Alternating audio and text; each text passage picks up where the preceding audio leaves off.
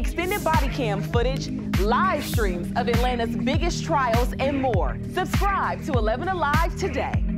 Babe, where are my keys? Mom, where's my lunch? Where's my phone? Hey, where's my blue shirt?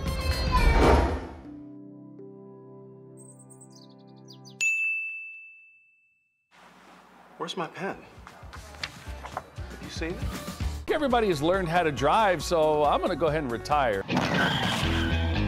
It didn't last long. Crank up your morning rush with Crash Clark. Weekdays, 5 to 7 a.m. on 11 Alive. Traffic brought to you by John Foy and Associates. I woke up at 2 in the morning to be here. Where were you? Once you allow it, right, then it sets you up for the entire week where you just have lost it. Like on a, on a Sunday, it's like, oh, let's just order some Chinese food. And of course, you wind up eating tons of that. And then on Monday, you're like, well, I got leftovers. I can't let it go to waste. Auntie wants to give you a plate to take home from the barbecue. Auntie. Auntie, don't invite me to the barbecue. I'm going to be looking for you next time, so use the hashtag and let us know you're hanging out with us. Morning Rush, weekdays, 5 to 7 a.m., only on 11 Alive.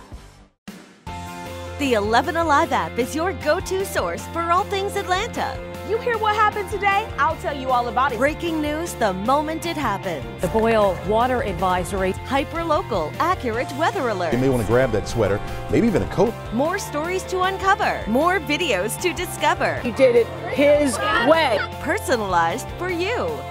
And that's what makes it so special. The 11 Alive app. Available now in the App Store. Hey, I got the ways to go. I got moves to make, homie, but I stay in the flow. See, I just do what I say I'ma do. No, no movement ain't faded. You could assume what the doing was great.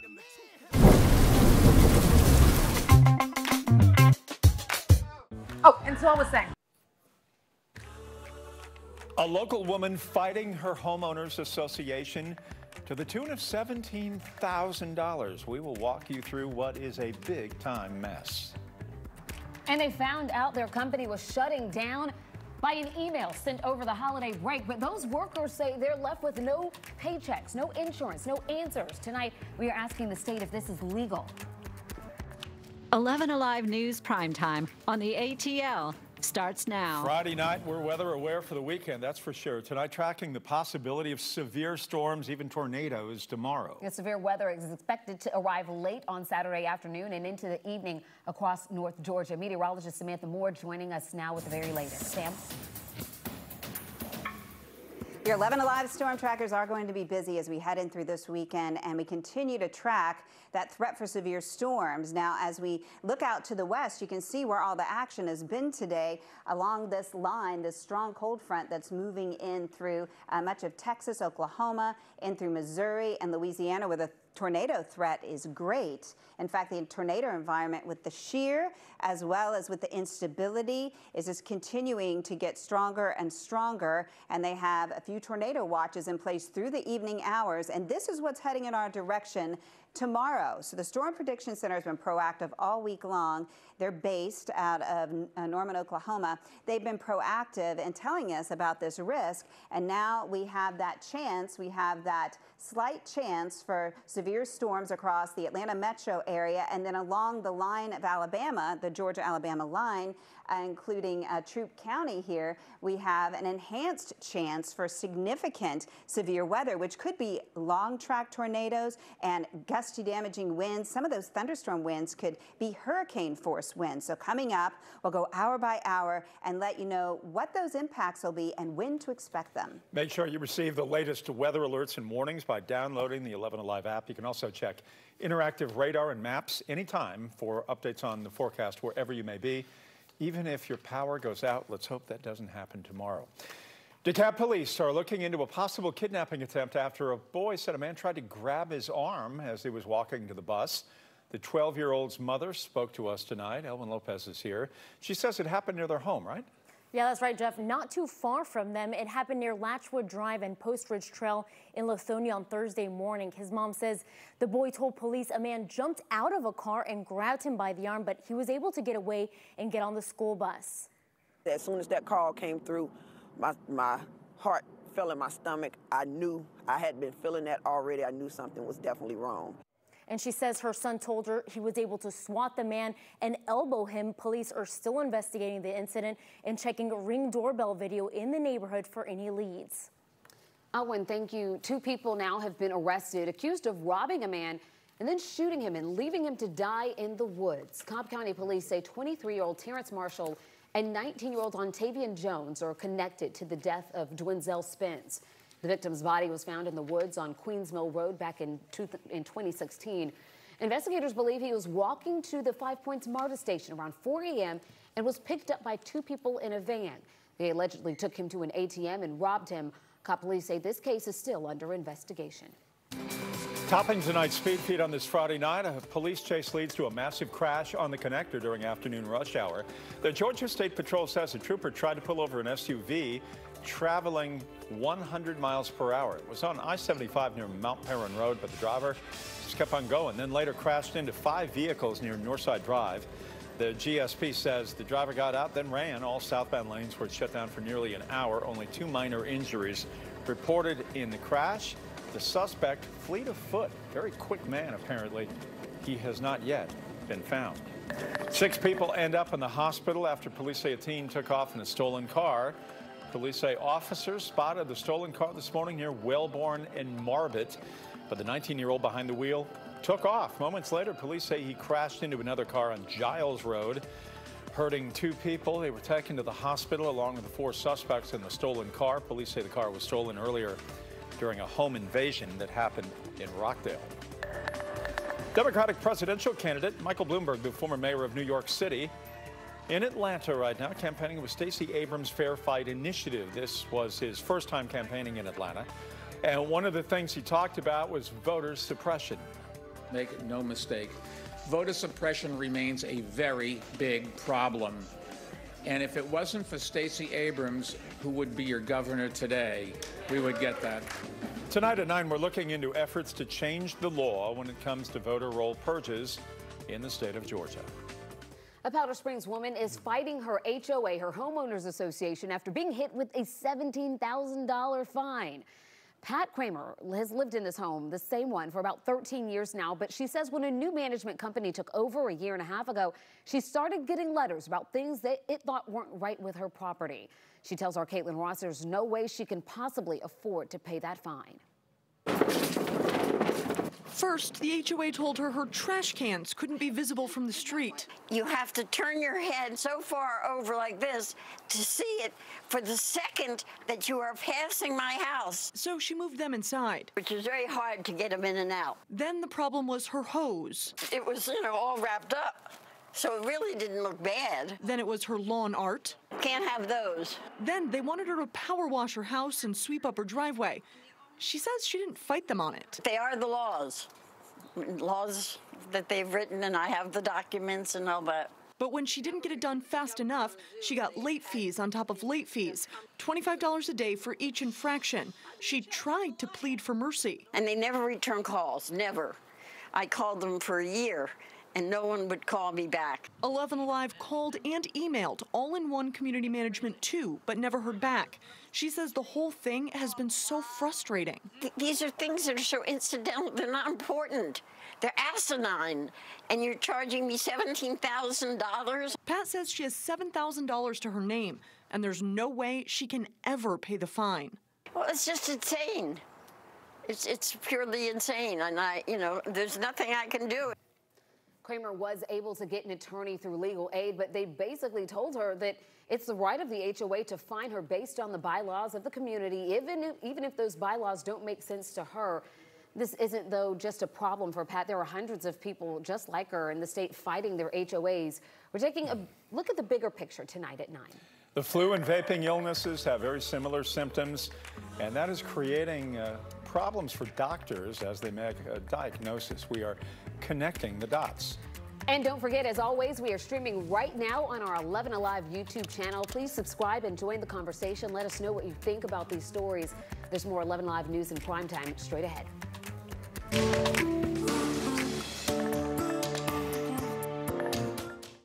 Channel, where you'll find uncut interviews, extended body cam footage, live streams of Atlanta's biggest trials, and more. Subscribe to 11 Alive today. Babe, where are my keys? Mom, where's my lunch? Where's my phone? Hey, where's my blue shirt?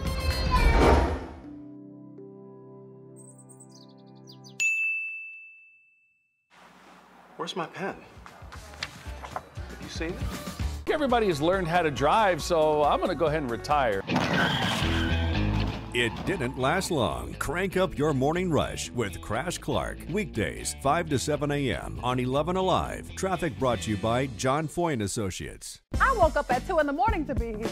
Where were you? Once you allow it, right, then it sets you up for the entire week where you just have lost it. Like on a, on a Sunday, it's like, oh, let's just order some Chinese food, and of course you wind up eating tons of that. And then on Monday, you're like, well, I got leftovers, I can't let it go to waste. Auntie wants to give you a plate to take home from the barbecue. Auntie. Auntie, don't invite me to the barbecue. I'm going to be looking for you next time, so use the hashtag and let us know you're hanging out with us. Morning Rush, weekdays, 5 to 7 a.m., only on 11 Alive. The 11 Alive app is your go to source for all things Atlanta. You hear what happened today? I'll tell you all about it. Breaking news the moment it happens. The boil water advisory. Hyper local, accurate weather alert. You may want to grab that sweater, maybe even a coat. More stories to uncover. More videos to discover. He did it his way. Personalized for you. And that's what makes it so special. The 11 Alive app. Available now in the App Store.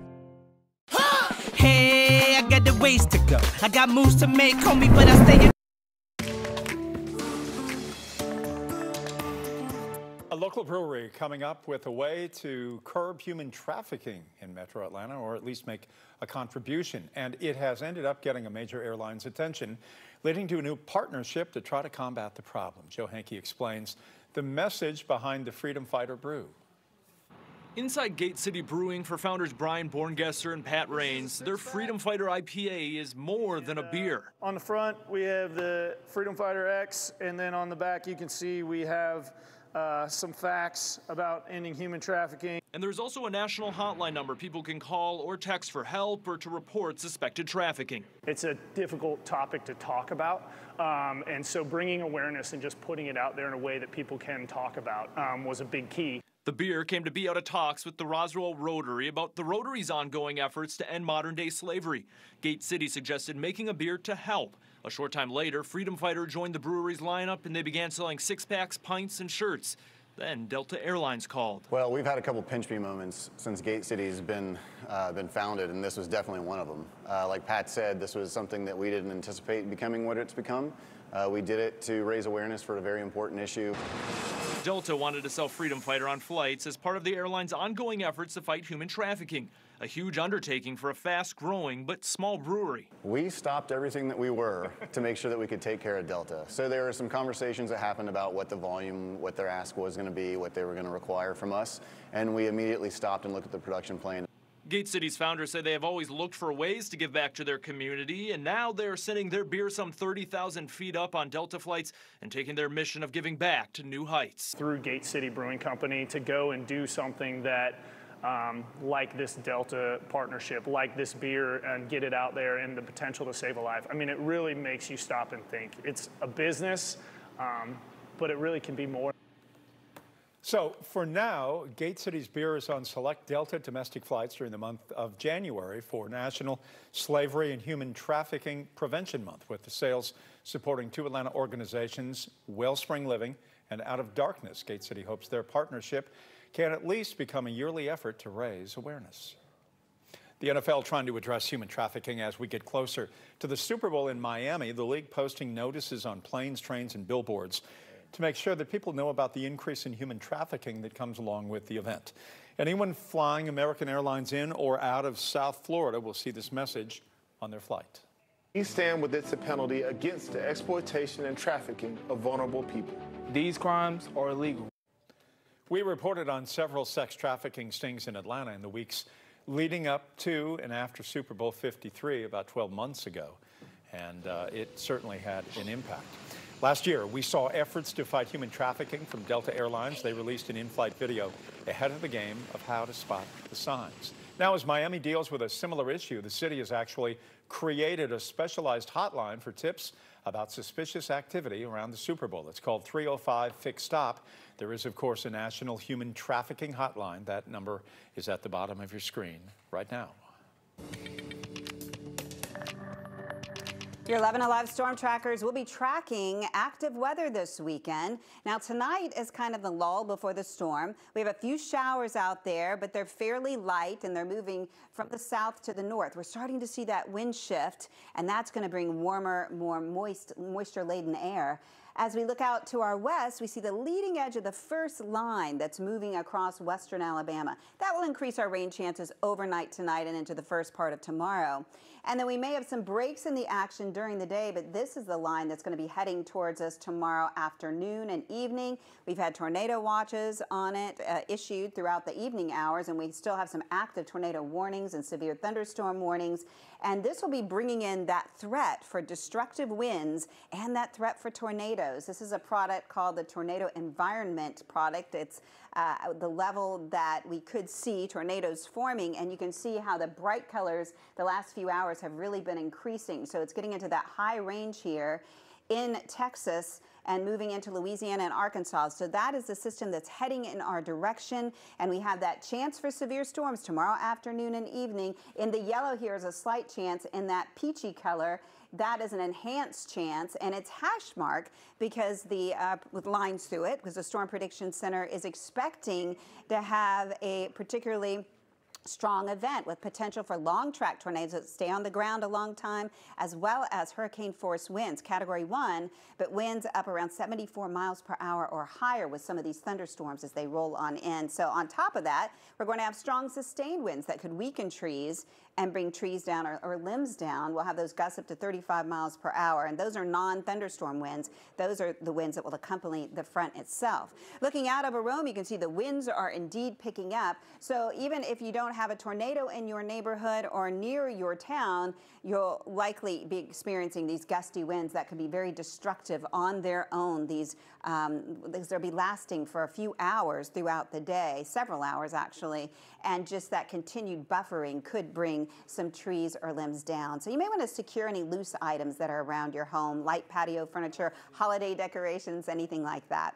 Let's take a look at those temperatures we saw today, 66 degrees after morning low of 50. We should be around 52 and 34 this time of year. So we were 14 degrees above average, and tomorrow we're going to be in the 70s. And we're going to have temperatures well above average well into next week. Even overnight, we're going to be in the 60s with the chances for rain going up in those early morning hours. So scattered evening showers tonight, severe potential tomorrow afternoon and evening. And then after that moves out, the front pulls up stationary and comes back at us with a southwest flow over it for much of next week. And that's when our flood potential goes up. So for tonight, just a few showers, no big deal. Heading out tomorrow, we'll see more widespread rain off and on throughout the morning hours. The winds picking up, and that will continue throughout the day. We're expecting to see that line of strong to severe storms moving in across the state line late afternoon, early evening, potentially around dinner time. They continue to move to the east throughout the evening hours, bringing in the destructive winds and that threat for tornadoes, as well as some very heavy rainfall. Hail threat with this is fairly slim but it is the wind threat that's really going to affect everyone.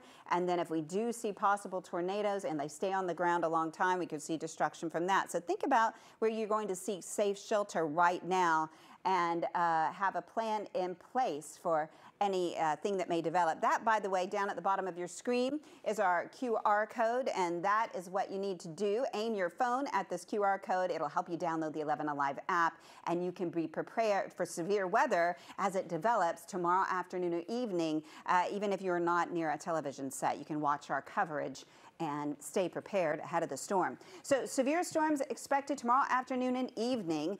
Come Sunday, we should start to clear it out pretty nicely, but it won't last long. We'll see that rain moving back at us Monday, Tuesday, Wednesday, and we'll have to be concerned about flooding at that point. And look how warm those temperatures are. We stay well above average at least through the middle of next week.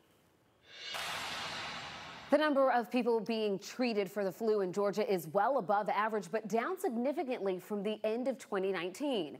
According to new data released by the Department of Health today, five people died and nearly 150 were hospitalized in the first week of the new year. That makes 22 deaths since September. Overall, more than 8,000 cases of the flu were reported in the past week, about half of those in people under age 25. So as the flu spreads, doctors now have a dilemma trying to figure out what is the flu and what is vaping illness. But why are the two so easy to get mixed up and confused? Let's connect the dots. According to the experts, the flu and other respiratory viruses look remarkably similar to vaping illness. That includes shortness of breath, night sweats, low oxygen levels, and spots on the lungs picked up by x ray. Adding to the confusion, people who vape heavily are much more likely to get the flu. So if you show up at the doctor's office with these symptoms and test positive for the flu, they may give you some Tamiflu and send you home. But if you have the vaping illness, you need much more aggressive treatment and hospitalization. Right now, the CDC is telling doctors that if they have a patient who vapes and has flu symptoms, to treat them for both. So we continue to give you an update. This is a program aimed at reducing the offending rate, and it is an issue that many have been talking about, trying to gather to see if there is some possibility to initiate a movement that will certainly be good for all. Uh, working to make sure that these inmates have a smooth re-entry to civilian life. Today, lawmakers and leaders gathered to discuss a new program.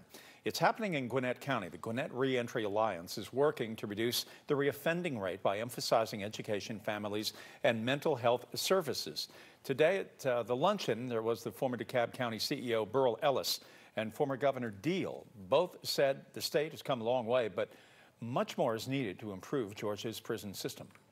For those who are in our prison system, it is important that they be able, when they are released, to be able to go back into the world without having uh, other offenses being committed and them have to simply go back into the prison system. Uh, I'm very concerned about the issues surrounding mass incarceration. Uh, we have a crisis, and it's a crisis that disproportionately, unfortunately, targets people of color. Governor Deal, very active on that front, had been featured in the Christian Science Monitor and the Wall Street Journal for his work in trying to secure the release of African American men that have been put in prison. Also, trying to help find them jobs. That also has been a major issue in all of this. The Greater Gwinnett Reentry Alliance plans to host events and add more programs focusing on those reentering society after serving time in jail. One of Georgia's most powerful congressmen now apologizing to Democrats for breaking it down as we talk with Chuck Todd of Meet the Press. Oh, Somebody broke his heart somewhere along the line. We're here every weekday morning, so come on, hang out with us. Morning Rush, weekdays, 5 to 7 a.m., only on 11 Alive. Televised newscasts not enough for you? Get even more at 11 Alive's YouTube channel, where you'll find uncut interviews, extended body cam footage, live streams of Atlanta's biggest trials, and more. Subscribe to 11 Alive today. You didn't get my text? The whole crew got together for coffee this morning. I'm, I'm learning the taste of water because I'm, I'm sugary. Oh, okay. yeah, right, right. about I mean, that? well, reward would be Slimming down. Okay. Yes. Right, yeah, okay. yeah, a little water in my cup. And and beautiful skin. Well, you know, even too. more beautiful skin. You know, when it's all hydrated and everything else. I'm not gonna be able to sit next to you in a few months. Don't drink your morning coffee alone. Have it with us. Morning Rush, weekdays, 5 to 7 a.m., only on 11 Alive. Some mornings, what you want isn't what you have time for. And that's why there's the Rush Blog, the biggest news of the day in five minutes or less. Quick and convenient for all those hectic mornings. Catch the Rush Blog on the Morning Rush. Everybody has learned how to drive, so I'm going to go ahead and retire. It didn't last long. Crank up your morning rush with Crash Clark. Weekdays, 5 to 7 a.m. on 11 Alive. Traffic brought to you by John Foy and Associates. Atlanta is filled with great photo spots. And of course, I would know because this is my hometown. I'm 11 Alive's Francesca Amiker, and I'm about to show you my picks for the three best Instagram spots in Atlanta. The OutKast mural is one of Atlanta's newest hotspots. Created by the artist Jex, people flock from all over the world just to get a shot of these two hip hop legends.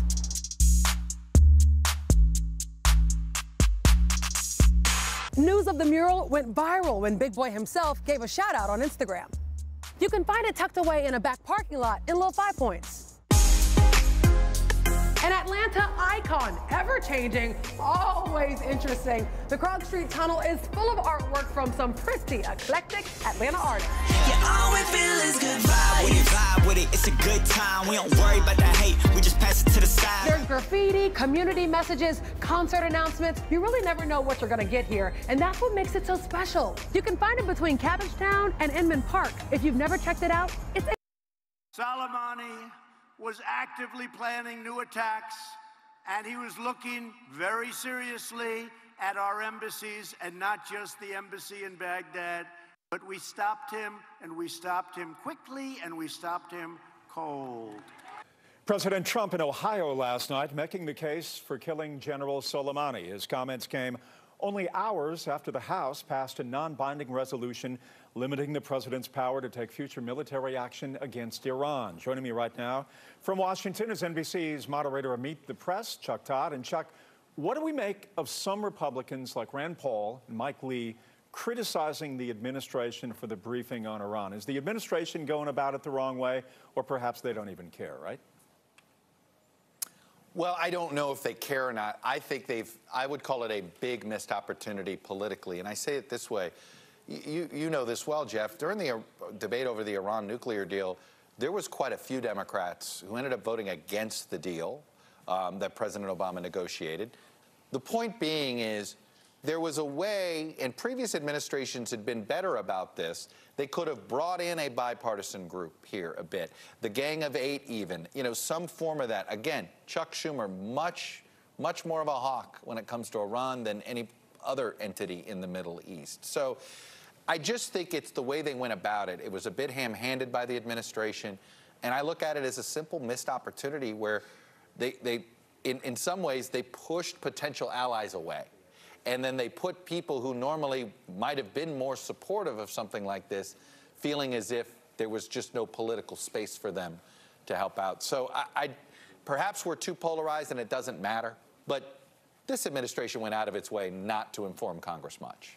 Yeah, Congressman Doug Collins from Georgia said, and I'm sort of paraphrasing here, the Democrats love terrorists. Today, uh, he, he backstep on that and, and apologizing about it. But I think it illustrates what you're talking about as far as this polarization, which is yeah. unlike anything that we have really seen. I have to say, when I saw Doug Collins do that, the congressman, it was just one of those, oh, really? Come on. And I was really heartened that he apologized. Because you know what? That, that, you rarely see that anymore. So, you know, it's funny. A lot of times these guys, you know, we, we, you know, we in the media will surface this stuff, and you wonder are they going to apologize?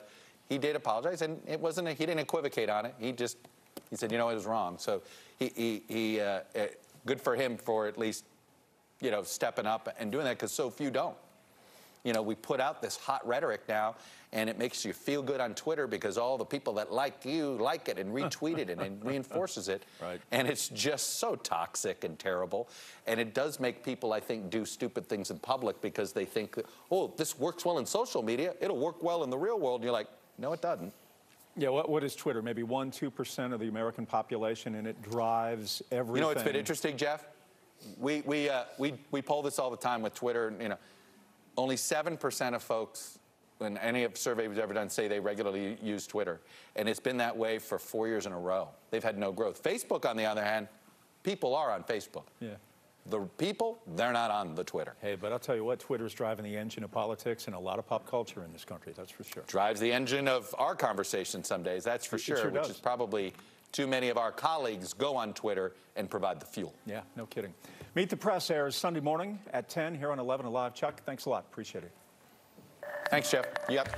So to come a close call, an officer recovering now after he was hit by a train. A new body camera video shows the moment it happened. Just every weekday morning from 5 to 7 on the Morning Rush on 11 Alive.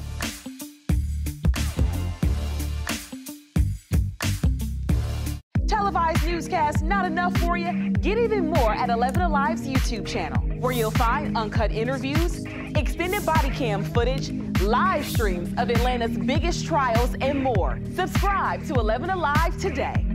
Babe, where are my keys? Mom, where's my lunch? Where's my phone? Hey, where's my blue shirt?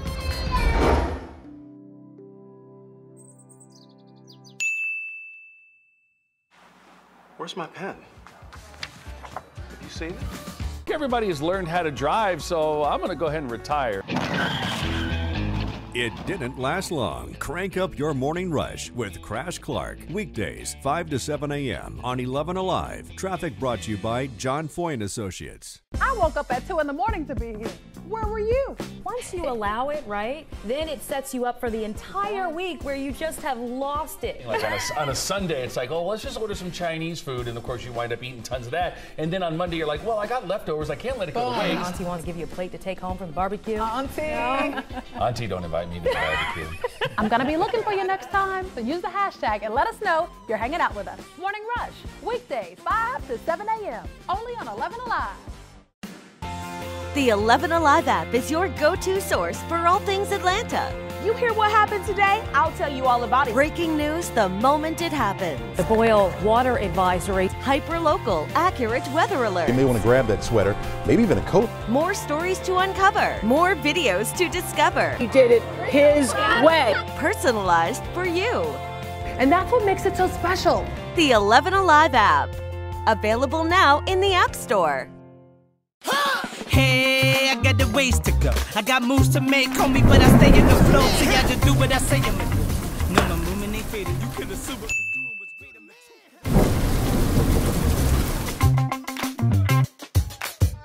Oh, and so I was saying, there is always something filming here in Atlanta, from movies to TV shows, you name it. And so the A scene keeps up with all of it for you. Casting calls, which big celebrities are in town, what's filming, and if it's in your neighborhood. It's like an inside scoop. Oh, nice. But you know, I really wish you would have told us we were filming this today. Ooh, did I not text you?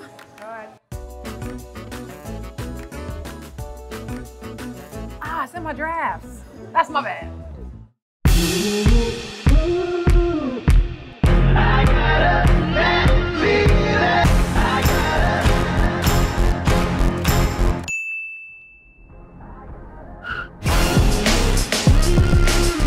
So you slept in and you missed morning rush, huh?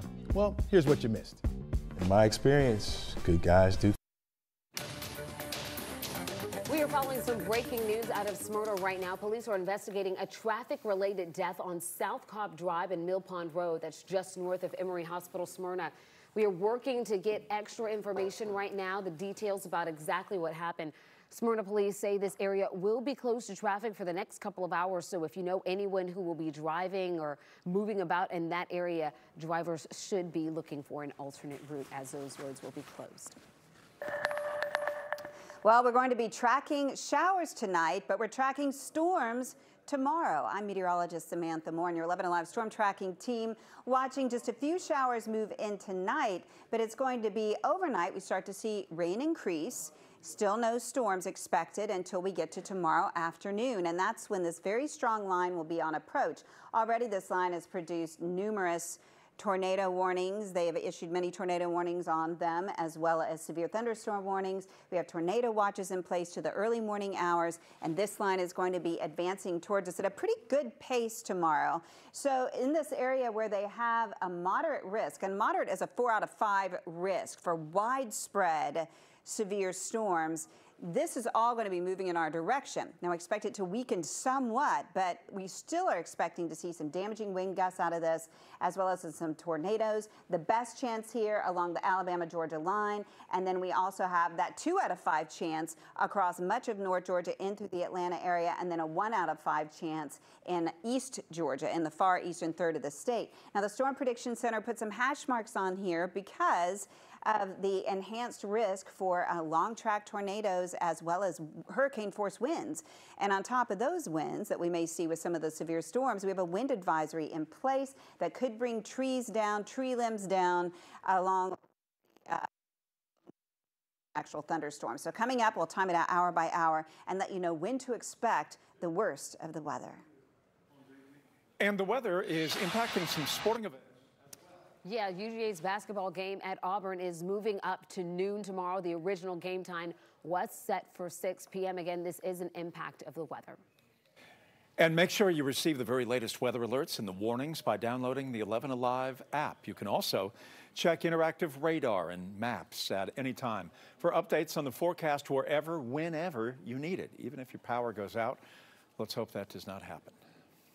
New on prime time, the FBI is offering a $15,000 reward for information leading to the arrest of a suspect who gunned down a retired Gwinnett County uh, uh, sergeant with the sheriff's department there at the uh, O'Reilly Auto Parts store in Buford. Uh, Felix Cosme's family confirmed his visitation will be held tomorrow evening. His funeral will follow the next day at 3 p.m. at the Buford Chapel of Crowell Brothers Funeral Home and Crematory. The funeral home is picking up the cost for the service. That shooting happened Wednesday night at the O'Reilly store near Buford. Cosme had taken a job there after his retirement. Well, we're getting a look at the moment a Polk County officer was struck by a train. The department releasing this body camera footage. Now, take a look. We've stopped it right before the impact. The train slammed into Officer Andy Anderson, knocking him off the tracks, and he is now out of surgery, recovering from a slew of ailments from broken ribs and elbow, shoulder blade. He is beat up. The incident happened Tuesday while he tried to arrest a man in Rockmart. He heard the train. He just didn't realize how close to the tracks he was. Uh, we, we call that tunnel vision in law enforcement. You get so focused on the task at hand, you forget about your surroundings. So you're talking about the train and the injuries, the arrest.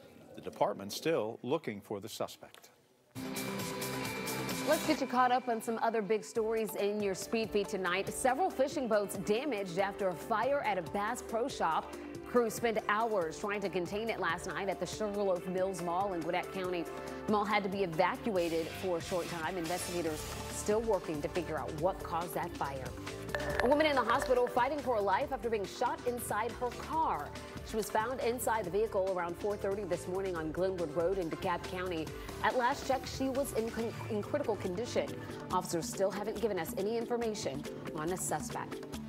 Trying to make a great escape, Alpharetta police sharing this photo of a man accused of breaking into an apartment and then trying to make a quick exit off the balcony. We're told he and another man were using crowbars to open doors at the Avalon yesterday. One of the men is in custody, the other still out there. Every few years, there's a new workout trend aerobics, uh, shake weights, uh, let's see, Peloton, right? We can go on and on. There's now a brand of gyms using technology to enhance your workout, and they claim it only takes 20 minutes to get in great shape. Is it too good to be true? We'll let you make that determination. Hope Ford went and checked it out.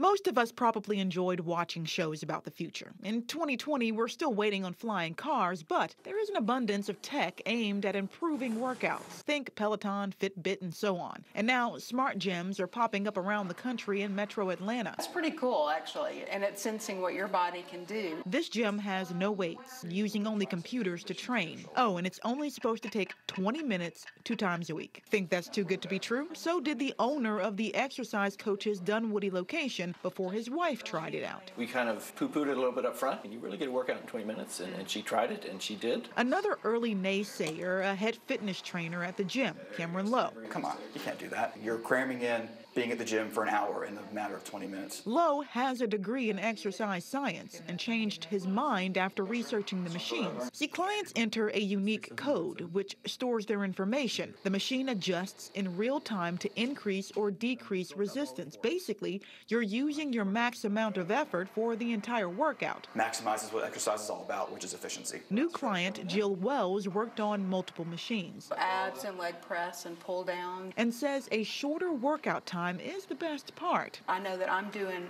the most for me, whereas if I were doing it on my own, I probably wouldn't work as hard. I gave it a try as well using the leg press. The goal, keep your legs steady, controlled, not pushing too hard or not hard enough. Your movement is tracked by that yellow line, which you're supposed to keep in the green zone. And yeah, it was tough, and I could feel the burn. Oh, oh there it is. Yeah, there it is. Will it replace traditional gyms? Who knows? But many people will always crave innovation and shorter workouts. And unlike traditional gyms, this one is small, has trainers and appointments. At the Dunwoody location, one to two people will work out at a time or a group of up to four people with a trainer. A company sends an email during the holiday break telling workers not to come back. Now, nearly a thousand people are out of a job. I'm meteorologist Chris Holcomb from the 11 Alive Storm Trackers. We've been telling you this week about our severe weather threat for Saturday. These storms, with the threat for damaging winds and possible tornadoes, are most likely in the afternoon and evening hours on Saturday. This is at the same time as our broadcast of the NFL playoff game between the 49ers and the Vikings. So here's our plan. If tornado warnings are issued, we will need to break into the game to deliver life-saving information for those people in the path of the storm. But we plan to do a split screen that will show our weather coverage on one side of the screen and the football game on the other side of the screen in order to alert you of the storms. We will also utilize WATL, also 11alive.com, the 11 Alive app, and our YouTube channel for additional severe weather coverage. We will be very mindful of your desire to see the game while also passing along severe weather information at the same time. The 11 Alive Storm Trackers are committed to keeping your family safe.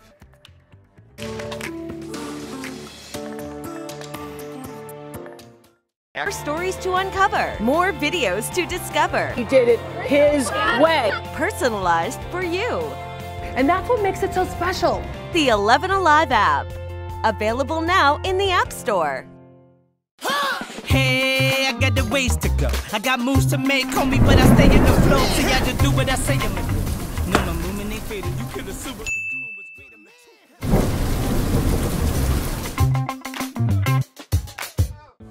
so I was saying, there is always something filming here in Atlanta, from movies to TV shows, you name it. And so the A scene keeps up with all of it for you. Casting calls, which big celebrities are in town, what's filming, and if it's in your neighborhood. It's like an inside scoop. Oh, nice. But you know, I really wish you would have told us we were filming this today. Ooh, did I not text you? All right. Ah, it's in my drafts. That's my bad. So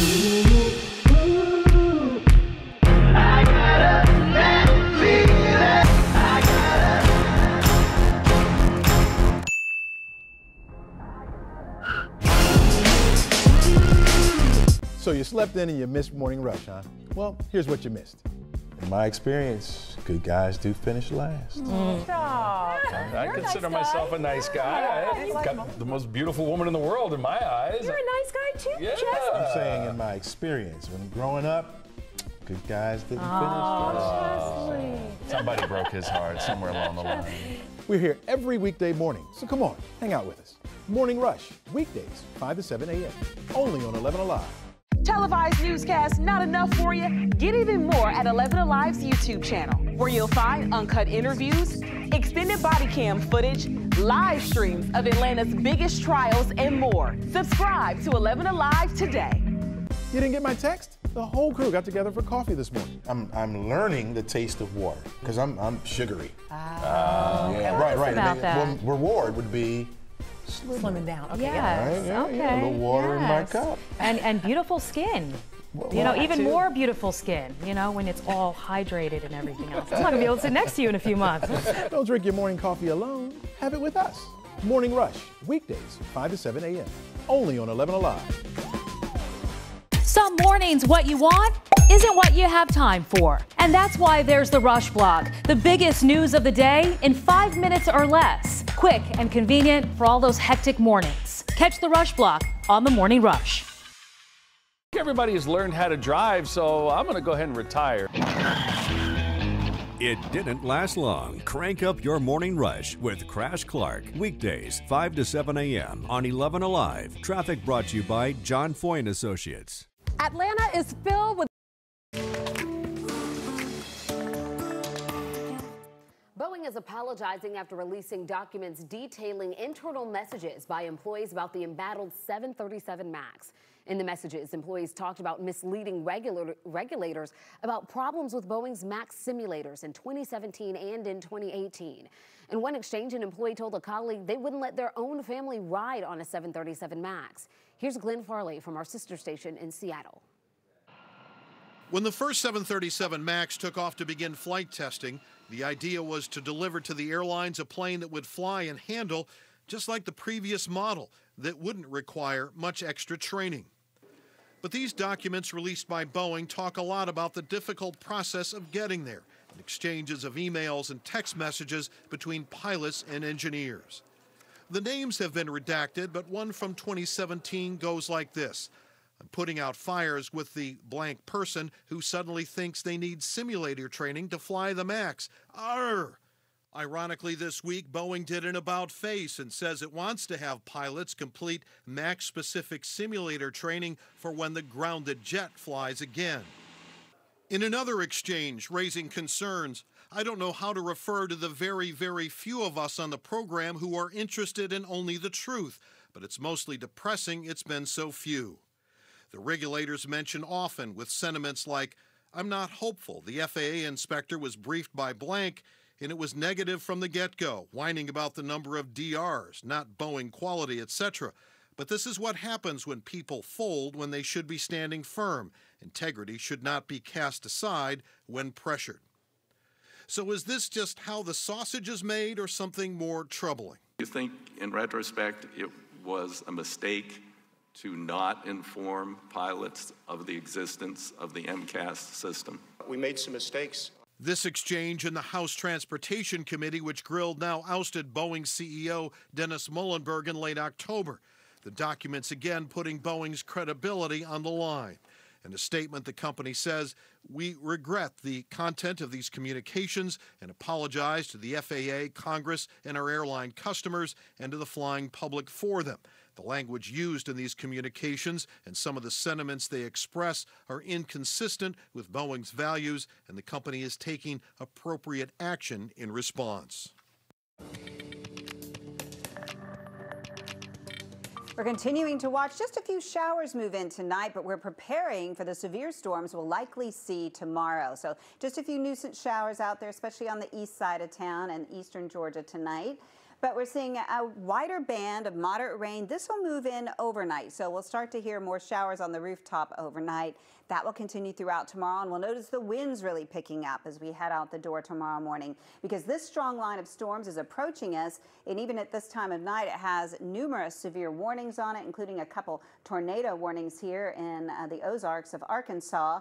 And so we'll continue to see this line of severe storms move uh, in our direction overnight and in through the day tomorrow. So that's where they have an enhanced chance, a four out of five chance of seeing storms tonight, where you see that red color, that bullseye here across the Arklatex and stretching over to the Mississippi River Valley. And this whole thing advances in our direction in the next 24 hours. We're actually more like 18 hours now. So by tomorrow afternoon, we'll have that risk. In the yellow here, you see the slight risk. That's a level two out of five.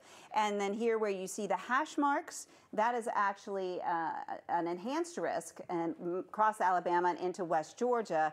And the SPC, the Storm Prediction Center, has put hash marks on it, just letting us know that this could be a particularly strong severe weather outbreak with long track tornadoes and uh, severe thunderstorms capable of producing hurricane force winds as well. And on top of that, we do have a wind advisory, so we are expected to see numerous limbs down potential for trees coming down and a lot of power outages as these winds continue to blow. And that's in effect all day tomorrow from 7 a.m. until 10 o'clock at night. Looking out over Newnan, this could be, you know, the further south and west you are, I think the better your chances for seeing severe storms. And so it's a good time just to think about what you would do if there's a tornado warning in your neighborhood and it's heading in your direction. Uh, these are things you need to think about ahead of time, heading to a sturdy place in your home, in the center of your home, or the lowest level of your home. If you live in a mobile home, you may want to just go somewhere else for the afternoon and evening that's more secure. You want to grab your pets, of course, and your phone, and also leave a TV. If you're going to be sheltering in your home, leave your TV set turned up so you can hear coverage that is going on so you can stay ahead of the storm. So temperatures are going to be very warm ahead of this system. We're looking at temps right now already in the 60s. They're just going to be going up overnight, and by tomorrow we're going to be in the 70s. So it's going to be very warm as we head in through our Saturday. So just a few scattered showers tonight, but then that severe potential continues into tomorrow afternoon and evening.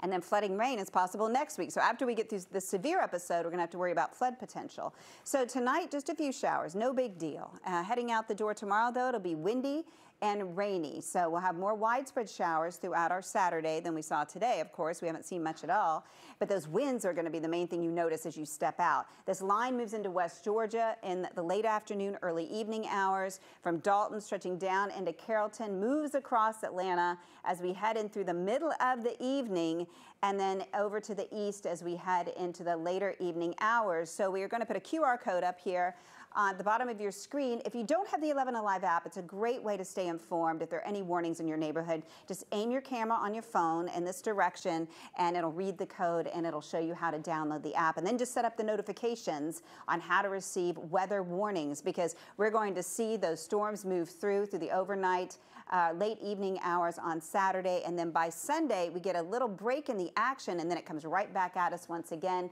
So next week, we're going to be talking about the flooding potential as we head in to the uh, middle of next week. So rain will be widespread as we head in through the weekend and into next week. We could be talking several inches in some spots once we get into uh, Wednesday, Thursday next week. So impressive storm totals expected. Severe storms expected tomorrow afternoon and evening. We dry it out for a brief moment on Sunday. Rain comes back at us Monday, Tuesday, and Wednesday. Samantha, thank you. New developments now in a story we first brought you last night on prime time in the 10 o'clock hour.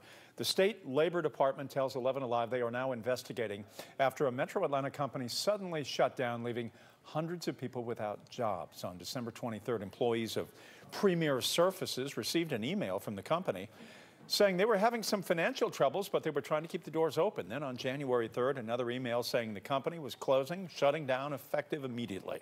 The surprise move left nearly 1,000 employees across the country, including 140 of them here in Metro Atlanta, without any kind of work or any kind of back pay, severance, or health insurance. They say company executives have now vanished, disappeared, poof, gone with their personnel files. So they're having trouble filing for unemployment, as you might imagine. We have reached out to the company, and guess what?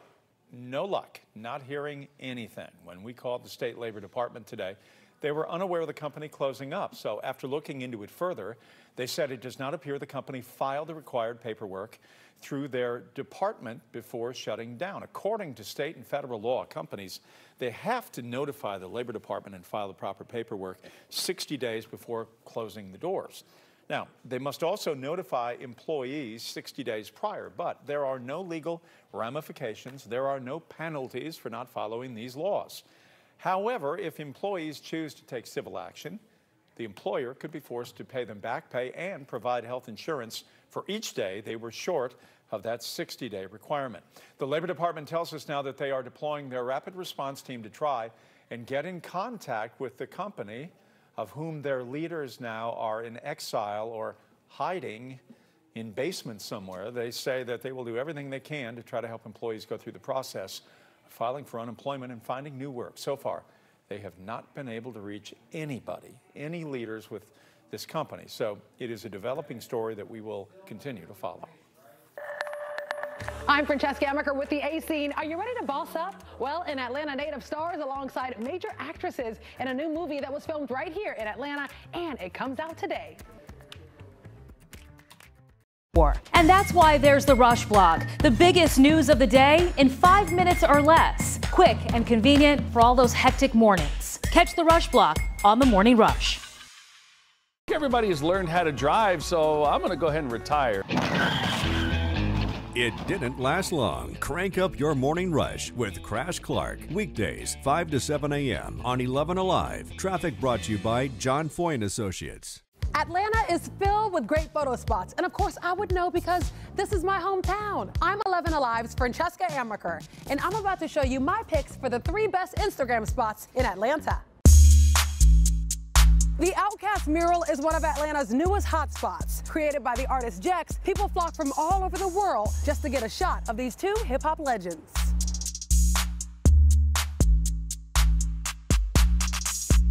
News of the mural went viral when Big Boi himself gave a shout out on Instagram. You can find it tucked away in a back parking lot in Little Five Points. An Atlanta icon, ever changing, always interesting. The Krog Street Tunnel is full of artwork from some pretty eclectic Atlanta artists.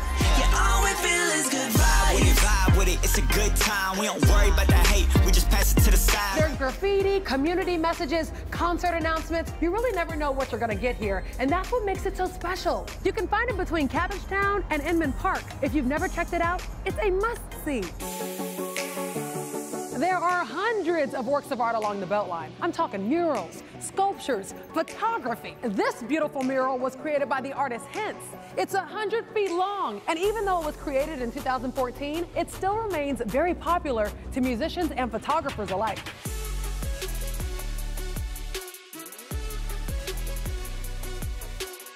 You can find it on the East Side Trail under Virginia Avenue.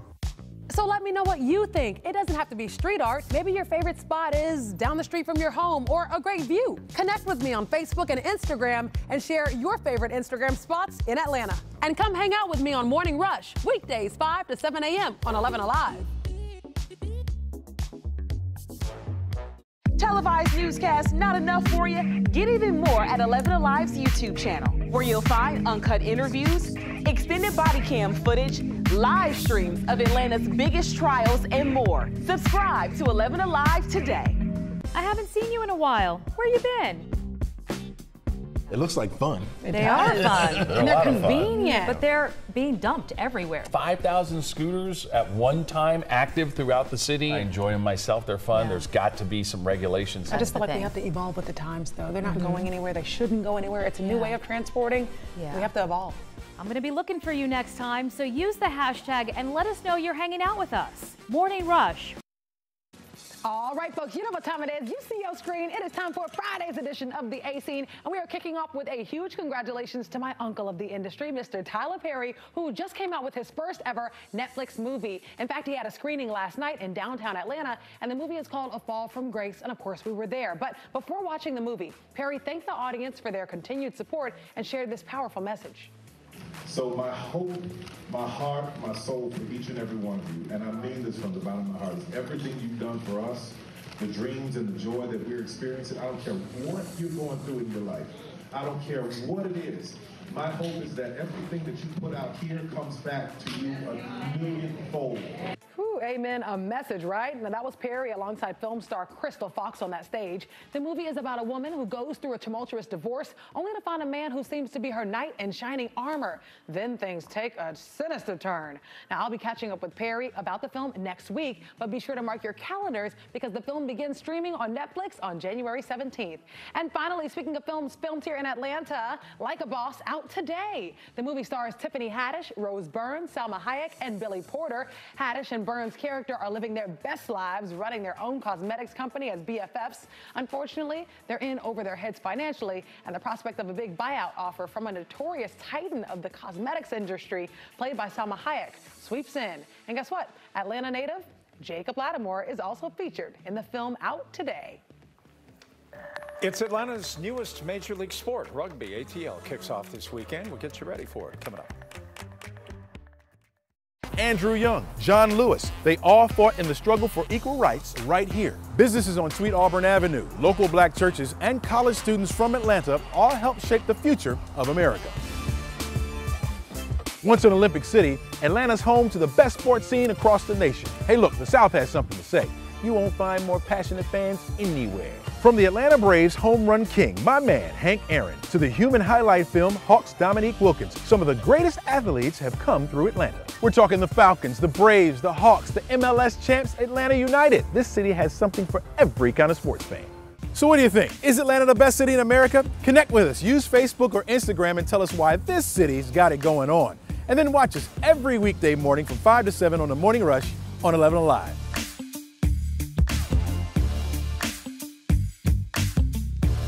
Televised newscasts not enough for you? Get even more at 11 Alive's YouTube channel, where you'll find uncut interviews, extended body cam footage, live streams of Atlanta's biggest trials, and more. Subscribe to 11 Alive today.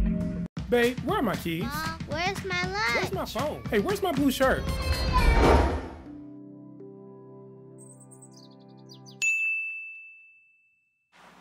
Where's my pen? Have you seen Everybody has learned how to drive, so I'm going to go ahead and retire. It didn't last long. Crank up your morning rush with Crash Clark. Weekdays, 5 to 7 a.m. on 11 Alive. Traffic brought to you by John Foy and Associates. I woke up at 2 in the morning to be here. Where were you? Once you allow it, right, then it sets you up for the entire week where you just have lost it. Like on a, on a Sunday, it's like, oh, let's just order some Chinese food. And of course, you wind up eating tons of that. And then on Monday, you're like, well, I got leftovers. I can't let it go to waste. Auntie wants to give you a plate to take home from the barbecue. Auntie. Auntie, don't invite me to the barbecue. I'm going to be looking for you next time, so use the hashtag and let us know you're hanging out with us. Morning Rush, weekdays, 5 to 7 a.m., only on 11 Alive. The 11 Alive app is your go to source for all things Atlanta. You hear what happened today? I'll tell you all about it. Breaking news the moment it happens. The boil water advisory. Hyper local, accurate weather alert. You may want to grab that sweater, maybe even a coat. More stories to uncover. More videos to discover. He did it his way. Personalized for you. And that's what makes it so special. The 11 Alive app. Available now in the App Store. Hey, I got the ways to go. I got moves to make, homie, but I stay in the flow. So y'all just do what I say I'ma do. No.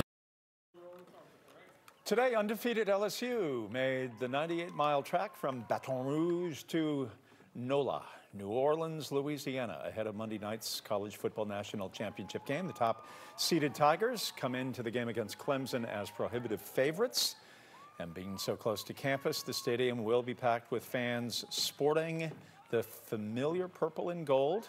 The university has canceled all classes Monday and Tuesday in Baton Rouge because of the game. Meanwhile, Trevor Lawrence and Clemson, the Tigers, have also touched down in New Orleans. Clemson, the underdog, they have heard that before. We'll see what happens. Coach Dabo is the man. This is a team that's won, what, 29 straight games or something like that? They are.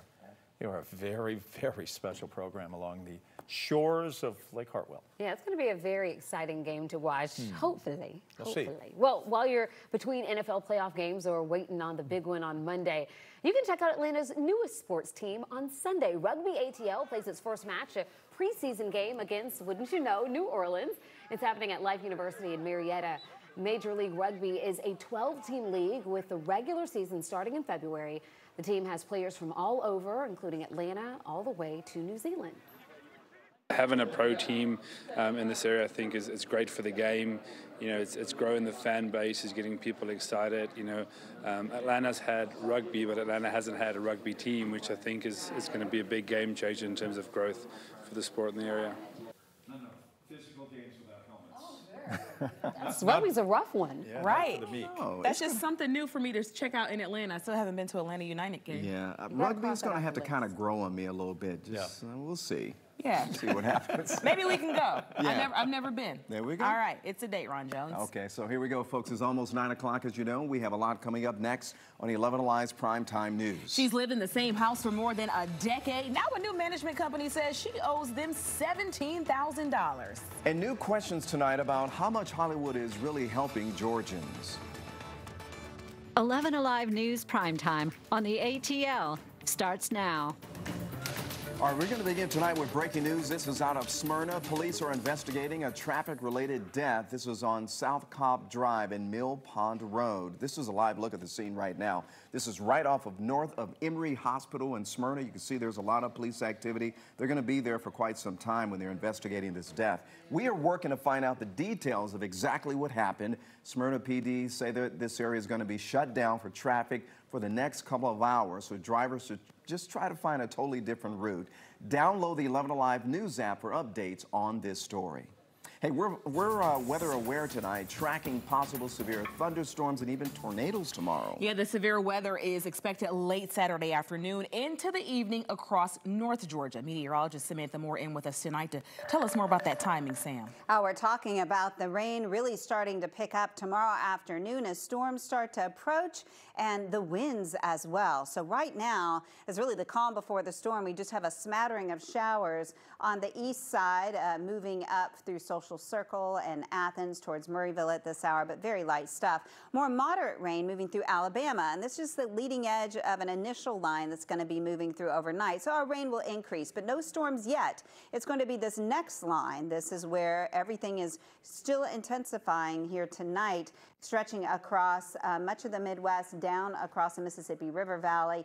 And you can see where we have a few tornado warnings right now here uh, in the Ozarks of Arkansas. So uh, rough night for those folks as this moves to the east with that tornado threat continuing during the early morning hours. And this is all heading in our direction. They have an enhanced risk, which is a level four out of five affecting them in the Arklatex tonight. We will have a level two in the Atlanta metro area out of five, according to the SPC, at least at this point. It is possible they could raise our threat level tomorrow as the day wears on because the storm will be coming in during the warmest point of the day.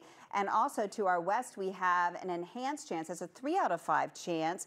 And uh, our westernmost counties here need to really think about where they would seek safe shelter because the SPC giving them a chance for a possibility of long track tornadoes and hurricane force wind gusts out of some of these thunderstorms that may form. So coming up, we'll go hour by hour and let you know the critical times when we expect to see the stormiest weather here in North Georgia. All right, thanks, Sam. Make sure to receive the latest weather alerts and warnings by downloading the 11 Alive app.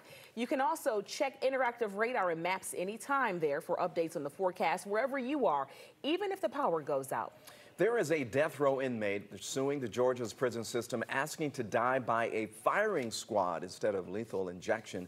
Our very own Elwyn Lopez is digging through this lawsuit. This is quite unusual here, Elwin. Yeah, it is, Ron. So death by lethal injection is the preferred method, if you will, when it comes to executions in states where the death penalty exists. Michael Wade Nance says his veins are hard to get to and severely compromised, which would make a lethal injection risky and painful. Nance was sentenced to death 18 years ago in Gwinnett County for shooting and killing a man while trying to steal the victim's car after robbing a bank in Lilburn. In the lawsuit, Nance claims putting a catheter into a quote scarred vein is extremely difficult and presents a substantial risk that the vein will blow, which could cause the drug to leak and cause intense pain and burning in the surrounding tissue. That's why he says he is asking for a firing squad to carry out his execution, a method that is only allowed in three states, Mississippi, Oklahoma, and Utah, although they all have lethal injection as the primary execution method. But the only state of these to use it is Utah. They have used a firing squad three times since 1976. Now, this might seem unusual, but this isn't the first time inmates have raised concerns about lethal injections and asked to be executed through an electric chair or a firing squad. Now, I asked Gwinnett County District Attorney Danny Porter about this, and he said if he wants a firing squad, then let him have it. Ron? Okay, thanks a lot, Elwyn. I'm sure we're going to stay on top of that one. Topping our speed feed tonight, a man say that, uh, or man police say, broke into a Cartersville tire store, got trapped there, and then he was forced to call 911 on himself. Listen to this. Hello, Bartow County 911. Okay, where are you, sir? I'm in the tire shop in Cartersville. Cartersville police say Seth King was forced forced his way into Salgado Tire store Sunday afternoon when a rack of tires fell on top of him. A store employee says they placed tires up against the back door for extra security. Police showed up shortly after King called 911 and they locked him up. Henry County police are now saluting fallen K-9 officer Thor tonight. He died after he was seriously hurt in a crash on Interstate 75 last night.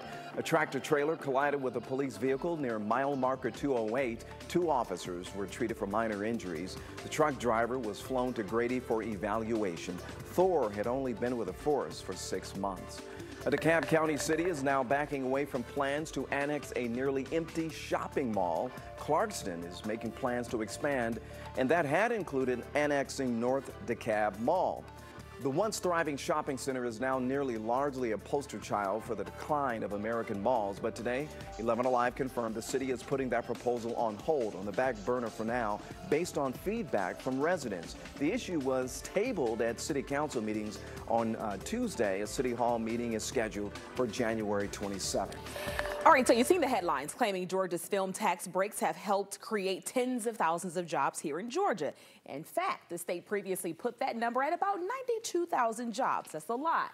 Now, a new report indicates that figure is grossly inflated by about a thousand percent. So, how did the numbers end up so off? What happened here? Doug Richards takes a look. The audit takes aim at what it describes as overinflated claims about the Georgia Film Tax Credit, the money generated, and the number of jobs created. And it focuses on both the economic benefits and the economic costs of the program.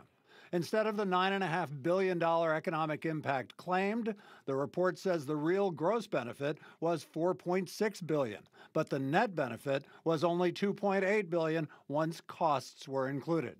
Instead of producing 92,000 jobs, the audit says the film industry produced 29,000 jobs. But the audit says the credit also cost the state more than 19,000 jobs from reduced government spending, making the net benefit only 9,100 jobs. The audit also says the state tax credit cost the state nearly $66,000 per job. In a rebuttal, the state economic development department contends the cost per job is only 19,000.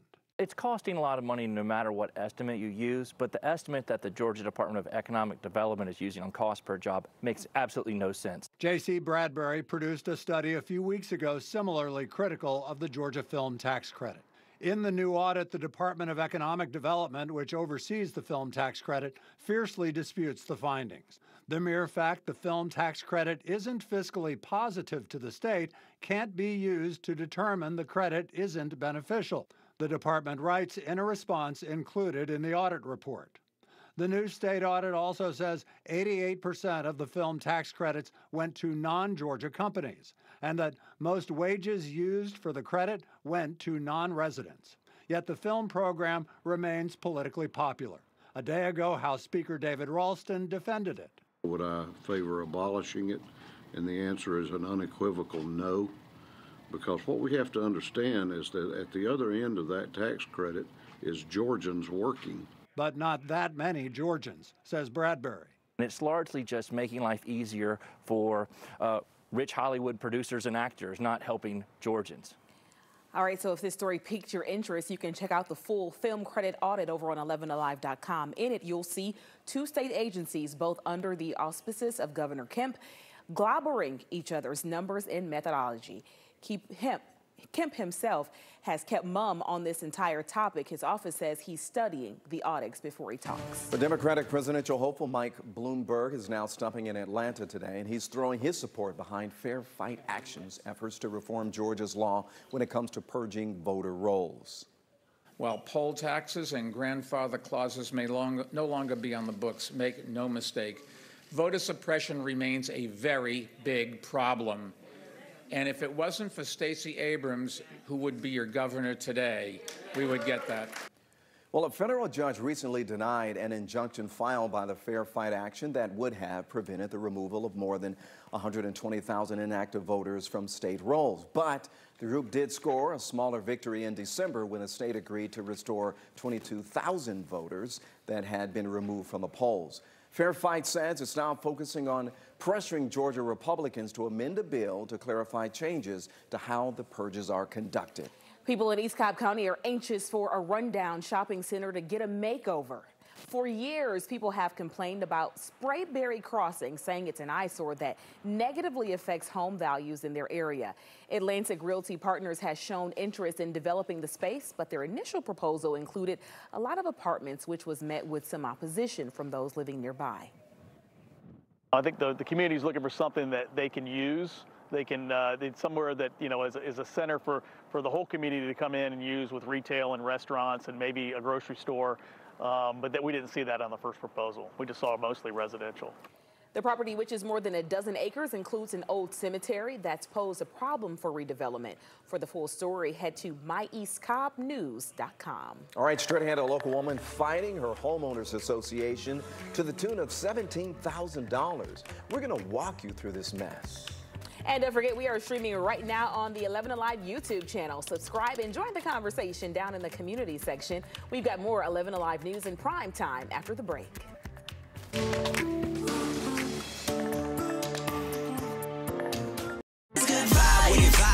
A good time. We don't worry about the hate. we just pass it to the side. There's graffiti, community messages, concert announcements. You really never know what you're going to get here, and that's what makes it so special. You can find it between Cabbagetown and Inman Park. If you've never checked it out, it's a must-see. There are hundreds of works of art along the Beltline. I'm talking murals, sculptures, photography. This beautiful mural was created by the artist Hense. It's 100 feet long, and even though it was created in 2014, it still remains very popular to musicians and photographers alike.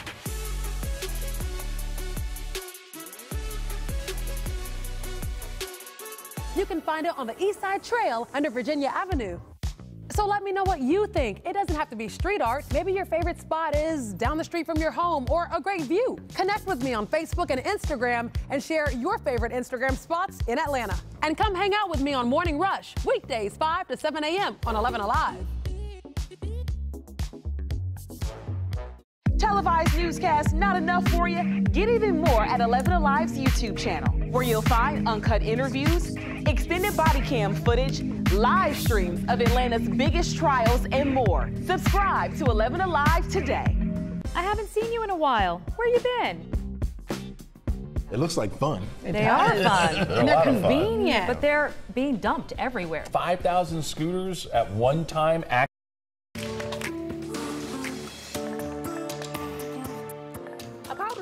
Woman is fighting her HOA after being hit with $17,000 worth of fines. Yeah, we're talking about Pat Kramer. She has lived in that home for about 13 years now. But she says when a new management company took over about a year and a half ago, she started getting these letters saying that things were wrong with her property. So she tells 11 Alive's Caitlin Ross there is no way she can possibly pay all that money.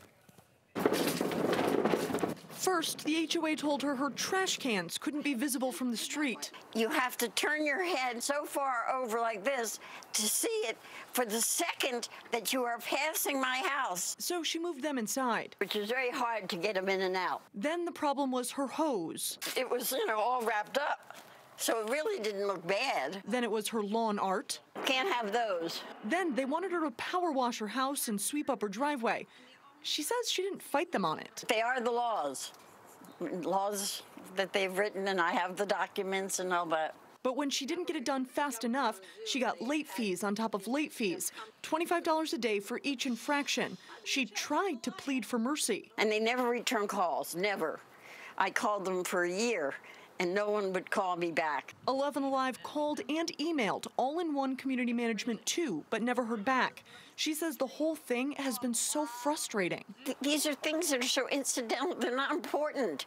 They're asinine, and you're charging me $17,000? Pat says she has $7,000 to her name, and there's no way she can ever pay the fine.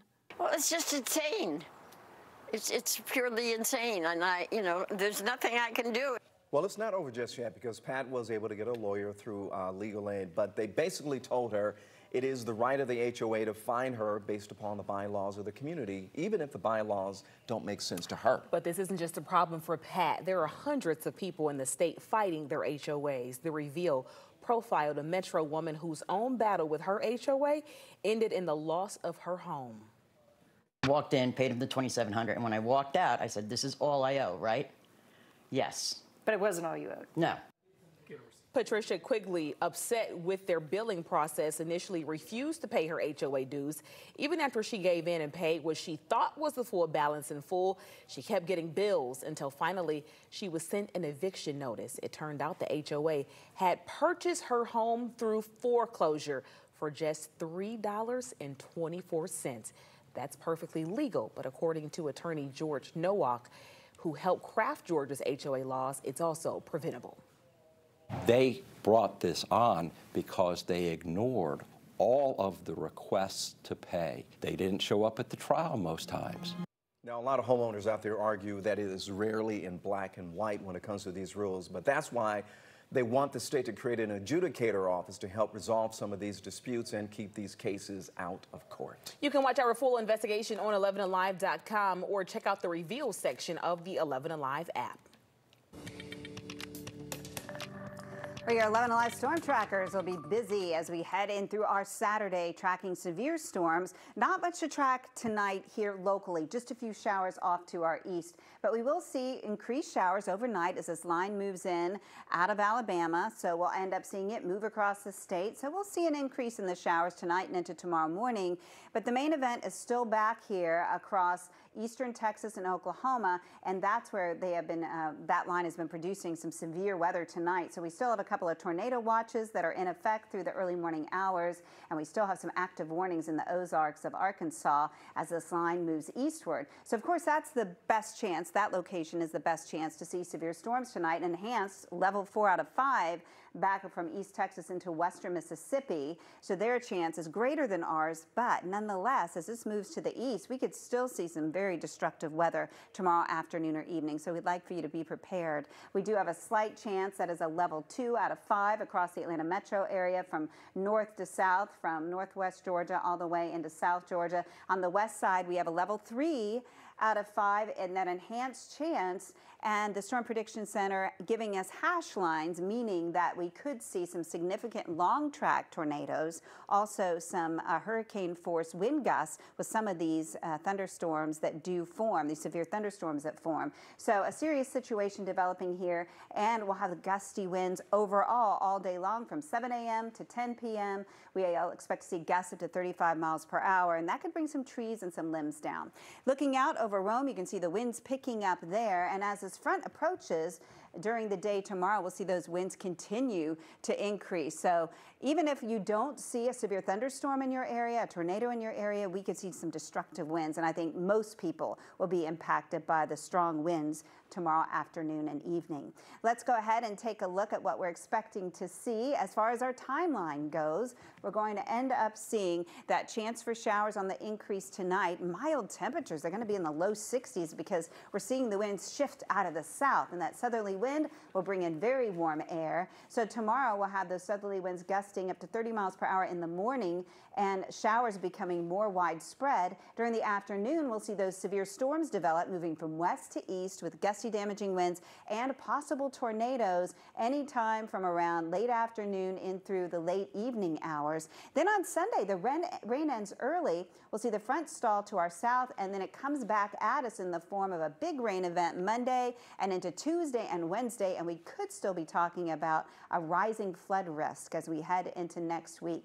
So 66 was our high today, 50 our low. We should be around 52 and 34 this time of year, so unseasonably warm even into the overnight. Look at these temps in the 60s all night long. So showers will increase overnight. We'll have that severe potential Saturday afternoon and evening with that rain possible as we head into next week. This is a QR code for our 11 Alive app. If you aim your camera at it right now to help you download that app very easily, then set your settings to give you weather uh, warning, warnings, including uh, severe thunderstorm warnings, tornado warnings, because we may be seeing that unfold tomorrow. We'll be watching the radar carefully here. You can see we'll have widespread showers during the day tomorrow, and then that line of storms approaches during the late afternoon and evening hours with those gusty damaging winds and that risk for tornadoes. And this is 9 o'clock in the evening, moving through Gainesville and Athens and Eatonton. So it's going to come in fast and then slow down. So it'll have plenty of time to uh, wreak damage across much of North Georgia. So we're going to continue to watch that threat for severe as we head through tomorrow, increasing during the afternoon and evening. Getting into Sunday, a 20% chance for showers, so we'll get a little lull in the action. Then that front comes back up and brings in a lot more moisture Monday, Tuesday, and Wednesday. Right now are looking very wet with a potential for flooding. Well, today, a surprising apology directed at congressional Democrats from Georgia Republican Representative Doug Collins after he said this. Listen. They're in love with terrorists. We see that. They, they mourn Soleimani more than they mourn our Gold Star families. Today, Collins apparently walking back his remarks, tweeting, quote, I apologize for what I said. The series of five tweets goes on to say the comments were in reference to the House War Powers resolution, and Collins remains committed to working with his colleagues in Congress to, quote, keep all Americans safe. The apology tweets came shortly after an email reportedly to Collins supporters from a political action committee was sent with the headline, I will not apologize but not before NBC late night host Seth Meyers took some shots at Collins' original comments. Unlike Doug Collins, I'm going to say this very slowly so everyone can understand it. Off! Meanwhile, House Speaker Nancy Pelosi sent a letter to Democratic lawmakers today saying the articles of impeachment against President Donald Trump could be delivered to the Senate as early as next week. All right, coming up in prime time, a local brewery comes up with a unique way to help curb sex trafficking. We'll explain after the break. 2014, it still remains very popular to musicians and photographers alike.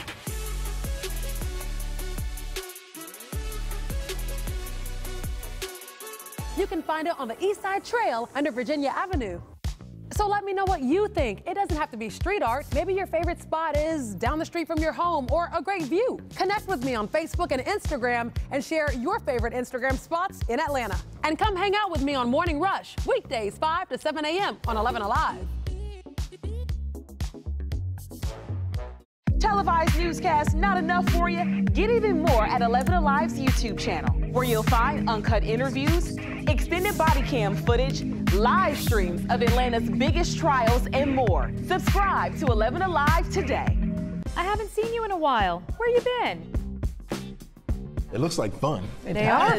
They're and they're lot fun. convenient. But they're being dumped everywhere. 5,000 scooters at one time active throughout the city. I enjoy them myself. They're fun. There's got to be some regulations. I just feel like we have to evolve with the times, though. They're not mm-hmm. going anywhere. They shouldn't go anywhere. It's a new Yeah. way of transporting. Yeah. We have to evolve. I'm going to be looking for you next time, so use the hashtag and let us know you're hanging out with us. Morning Rush, weekdays, 5 to 7 a.m. You see them all day, every day. Headlines, stats, and numbers, but without context, they're just clickbait. So let's add some perspective. The three most interesting numbers of the day, what they mean, and why they're important. News and numbers on Up Late. What's the best part about Your voice, it is never too loud or too much. Your voice has the power to tell it like it is. bringing us together to act. Together, our voices grow.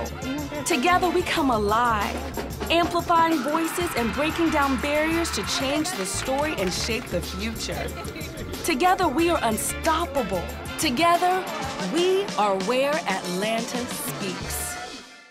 Remember the old days, the old cliffhangers when we used to watch shows Hate and they cliffhangers. would, you know, they Ah. would wait the next week. You're oh, what's going to happen to the six million dollar man? He was hanging with his one bionic arm. Morning Rush, weekdays 5 to 7 a.m. Only on 11 Alive.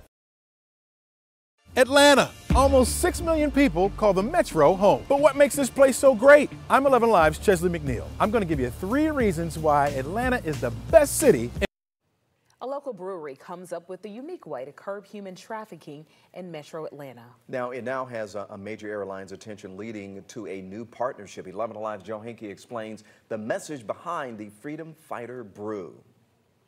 Inside Gate City Brewing for founders Brian Borngesser and Pat Rains, their Freedom Fighter IPA is more than a beer. On the front, we have the Freedom Fighter X, and then on the back, you can see we have uh, some facts about ending human trafficking. And there's also a national hotline number people can call or text for help or to report suspected trafficking. It's a difficult topic to talk about, um, and so bringing awareness and just putting it out there in a way that people can talk about um, was a big key. The beer came to be out of talks with the Roswell Rotary about the Rotary's ongoing efforts to end modern day slavery. Gate City suggested making a beer to help. A short time later, Freedom Fighter joined the brewery's lineup and they began selling six packs, pints, and shirts. Then Delta Airlines called. Well, we've had a couple pinch me moments since Gate City's been uh, been founded, and this was definitely one of them. Uh, like Pat said, this was something that we didn't anticipate becoming what it's become. Uh, we did it to raise awareness for a very important issue. Delta wanted to sell Freedom Fighter on flights as part of the airline's ongoing efforts to fight human trafficking, a huge undertaking for a fast growing but small brewery. We stopped everything that we were to make sure that we could take care of Delta. So there were some conversations that happened about what the volume, what their ask was going to be, what they were going to require from us, and we immediately stopped and looked at the production plan. Gate City's founders say they have always looked for ways to give back to their community, and now they're sending their beer some 30,000 feet up on Delta flights and taking their mission of giving back to new heights. Through Gate City Brewing Company to go and do something that, um, like this Delta partnership, like this beer, and get it out there and the potential to save a life. I mean, it really makes you stop and think. It's a business, um, but it really can be more. That was Joe Henke reporting, by the way. For now, the beer is on select Delta domestic flights during the month of January for National Slavery and Human Trafficking Prevention Month. Now, with a sale supporting two uh, Atlanta area organizations, Wellspring Living and Out of Darkness, organizers hope their partnership can at least become a yearly effort to raise awareness. It takes courage to report a sexual assault, and there are certain guidelines that should be followed when a report is made, especially at a school. But coming up, a Reveal investigation looks at a case that has been open for more than three years. Yeah, only on 11 Alive. The 11 Alive app is your go to source for all things Atlanta. You hear what happened today? I'll tell you all about it. Breaking news the moment it happens. The boil water advisory. Hyper local, accurate weather alert. You may want to grab that sweater, maybe even a coat. More stories to uncover. More videos to discover. He did it his way. Personalized for you. And that's what makes it so special. The 11 Alive app. Available now in the App Store. Hey, I got the ways to go. I got moves to make, call me, but I stay in the flow. See, I just do what I say I'm gonna do. No, my movement ain't faded. You could assume it.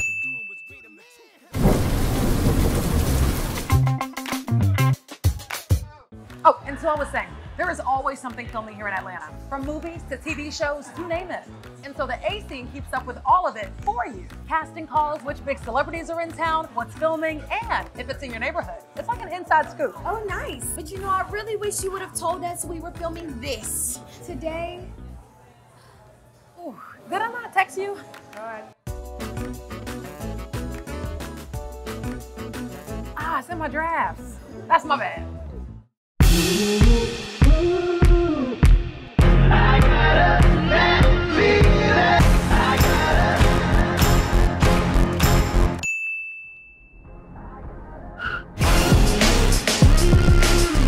So you slept in and you missed morning rush, huh? Well, here's what you missed. In my experience, good guys do finish last. Mm. Oh, stop. I consider myself a nice guy. I got the most beautiful woman in the world in my eyes. You're a nice guy too, Yeah. Jess. I'm saying in my experience, when growing up, good guys didn't Oh, finish last. Somebody broke his heart somewhere along the line. We're here every weekday morning, so come on, hang out with us. Morning Rush, weekdays, 5 to 7 a.m., only on 11 Alive.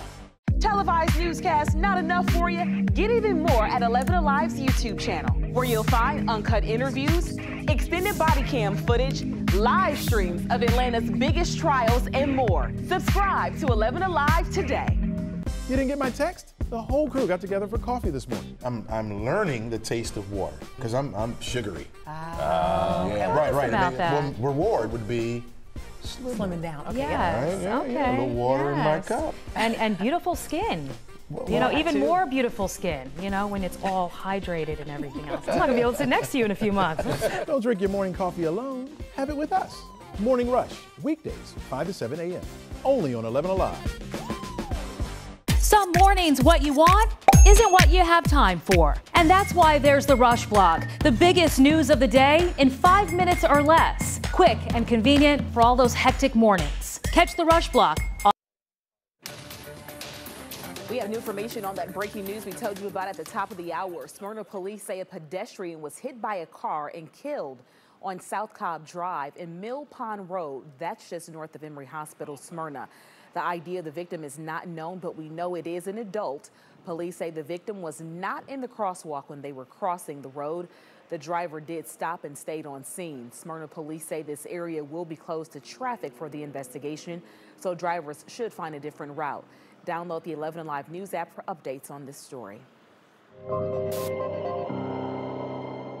Welcome to the Reveal on Prime Time. I'm investigative reporter Rebecca Lindstrom. It takes courage to report a sexual assault, especially when attacked by someone you see every day at school.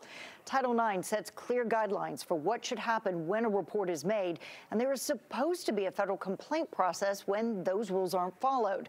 But the case you're about to hear has been open for more than three years. Rape is tough to talk about. Well, first I kind of tried to pretend it didn't happen. But when this girl was only 13, she says it did happen. Her rapist, a classmate at school. It made me feel, I mean, I would say worthless and kind of like, I don't know, disposable. One night I was, I tried to commit suicide. Then she began to tell me things like, I hate, I hate myself. I hate myself. And I'd say, What? What do you hate? I hate everything about myself. Everything. Charlie. Victoria is now 17. To protect her privacy, we've changed her name and we're not showing the faces of her family. Well, the attack happened at a friend's house. Victoria had four classes with the boy at Jefferson Middle School, and she says she was being harassed by him and other students in the hallways. Whore, slut, b- just yelled at her all the time. Did the school launch its own investigation after it heard about the allegation of rape? No, never. Did the school offer your daughter counseling or mental health services? No. Did they separate your daughter from the boy she says raped her? No. When did the bullying stop? Never. Yet the school was legally responsible to do all of those things. Absolutely. A school is always responsible for providing an educational environment free of sexual hostility. Lisa Anderson provides legal counsel to women sexually assaulted to help them understand their rights under Title IX. While most people associate the term with sports or college, the rules apply to any classroom that receives federal funding. It's one reason Victoria's family filed a complaint with the U.S. Department of Education. According to the complaint, two other girls say the same boy physically assaulted them. It was here on campus that one girl says he choked her until she almost passed out and made unwanted sexual advances. But she says she didn't tell the school about it because it had failed to do anything about him in the past. Catching the kids young, I mean, I think that's that's when you can actually change them and teach them. According to Georgia's Department of Education, more than 7,000 students were disciplined last school year for sexual misconduct, harassment, or battery. A third of those, students in middle school. But the number of students disciplined varied widely by district. While most in metro Atlanta reported less than 300 offenses, Gwinnett County reported more than 1,200 students disciplined for some kind of sexual misconduct. So would you almost be more concerned about the district with the higher numbers or the lower numbers? Lower numbers, definitely. that doesn't mean that it didn't happen. That means that you are sweeping everything under the rug. In high school, Victoria says administration promised to keep them apart. But when the second semester started, she walked into one of her classes and found him sitting there.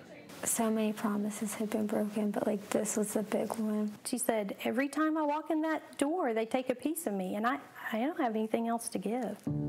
Victoria now attends a private school. We lost everything. You know, people don't stand beside you when you go through things that are ugly, and this was ugly. It's really inspiring. The necklaces around Victoria's neck remind her just how beautiful she is. So, and so she goes on. It feels really good have people express that they think that about me, like that I'm brave or that I'm strong enough to go on. The boy involved in this incident was never charged and denies doing anything wrong. Now, because this case has languished so long, both are now in college. The Department of Education has been trying for two years now to rewrite the rules around these types of investigations. And until that process is over, investigations remain on hold. Eight metro school systems have an open investigation, some of these cases as old as 2015. You can see more in-depth investigations like this one by going to our website at 11alive.com. And don't forget to watch The Reveal, the only local investigative show in the country, Sundays at 6 on our sister station, 11 Alive.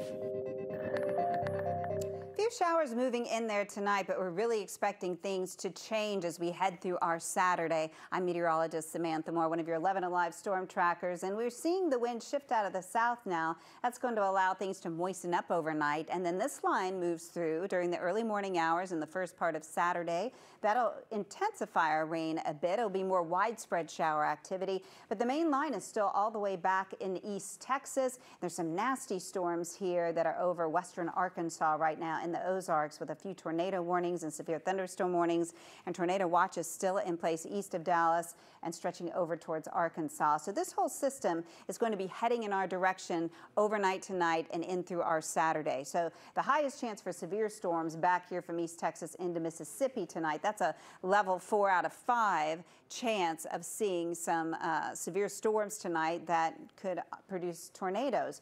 Now tomorrow our chances are slightly less than that, but they're still pretty high here across the Atlanta metro area. We have a level two out of five. And then once you get closer to the Alabama line and bear in mind, this could be shifted in either direction tomorrow as the SPC uh, ends up, Storm Prediction Center fine tunes the forecast. But right now they have an enhanced risk to see long track tornadoes that stay on the ground longer and have the ability to do more damage, as well as those damaging winds that we're expecting to see as we head into tomorrow afternoon and evening. So coming up, we'll go hour by hour, let you know when to expect those storms to move in and when they'll move on out. All right, Sam, see you in a couple of minutes. And the weather is impacting some sporting events. UGA's basketball game in, at Auburn is now moving up to noon tomorrow. The original game time was 6 p.m. And make sure you receive the latest weather alerts and warnings by downloading the 11 Alive app. You can also check interactive radar and maps anytime you want to for updates on the forecasts wherever you are, even if your power goes out.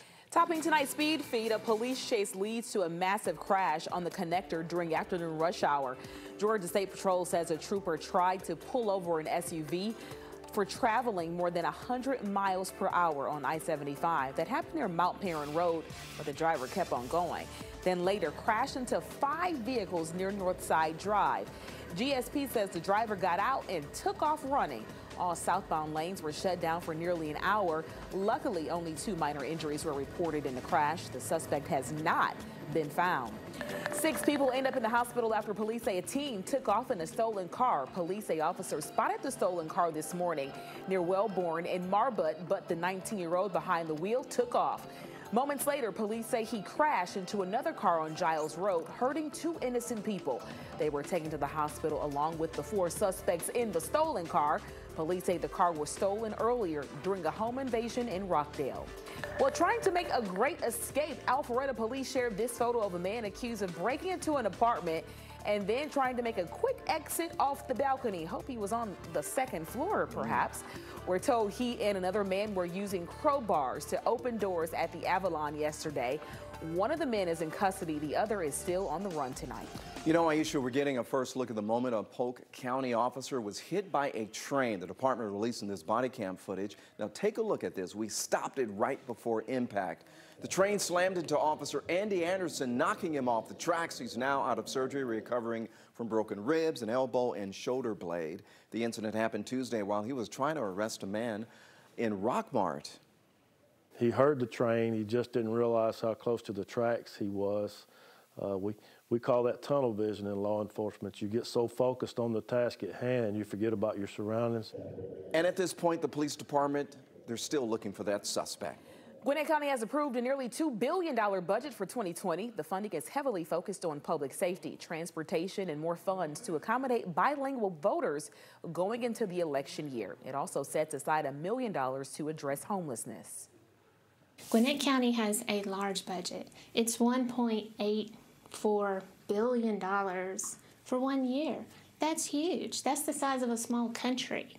There are a lot of moving parts. There are a lot of moving pieces here in a county that's so diverse and growing as Gwinnett County. But what I would want citizens to know is that we take providing services to them very seriously, and we want to make sure that we provide superior services to them and it does take resources. To see a full breakdown of the budget for Gwinnett County, head to the My Lawrenceville news section on 11alive.com. A company sends an email during the holiday break telling workers not to come back. Now nearly a thousand people are out of a job. I'm Francesca Amiker with the A Scene. Are you ready to boss up? Well, an Atlanta native stars alongside major actresses in a new movie that was filmed right here in Atlanta, and it comes out today. I'm meteorologist Chris Holcomb from the 11 Alive Storm Trackers. We've been telling you this week about our severe weather threat for Saturday. These storms, with the threat for damaging winds and possible tornadoes, are most likely in the afternoon and evening hours on Saturday. This is at the same time as our broadcast of the NFL playoff game between the 49ers and the Vikings. So here's our plan. If tornado warnings are issued, we will need to break into the game to deliver life saving information for those people in the path of the storm. But we plan to do a split screen that will show our weather coverage on one side of the screen and the football game on the other side of the screen in order to alert you of the storms. We will also utilize WATL, also 11alive.com, the 11 Alive app, and our YouTube channel for additional severe weather coverage. We will be very mindful of your desire to see the game while also passing along severe weather information at the same time. The 11 Alive Storm Trackers are committed to keeping your family safe.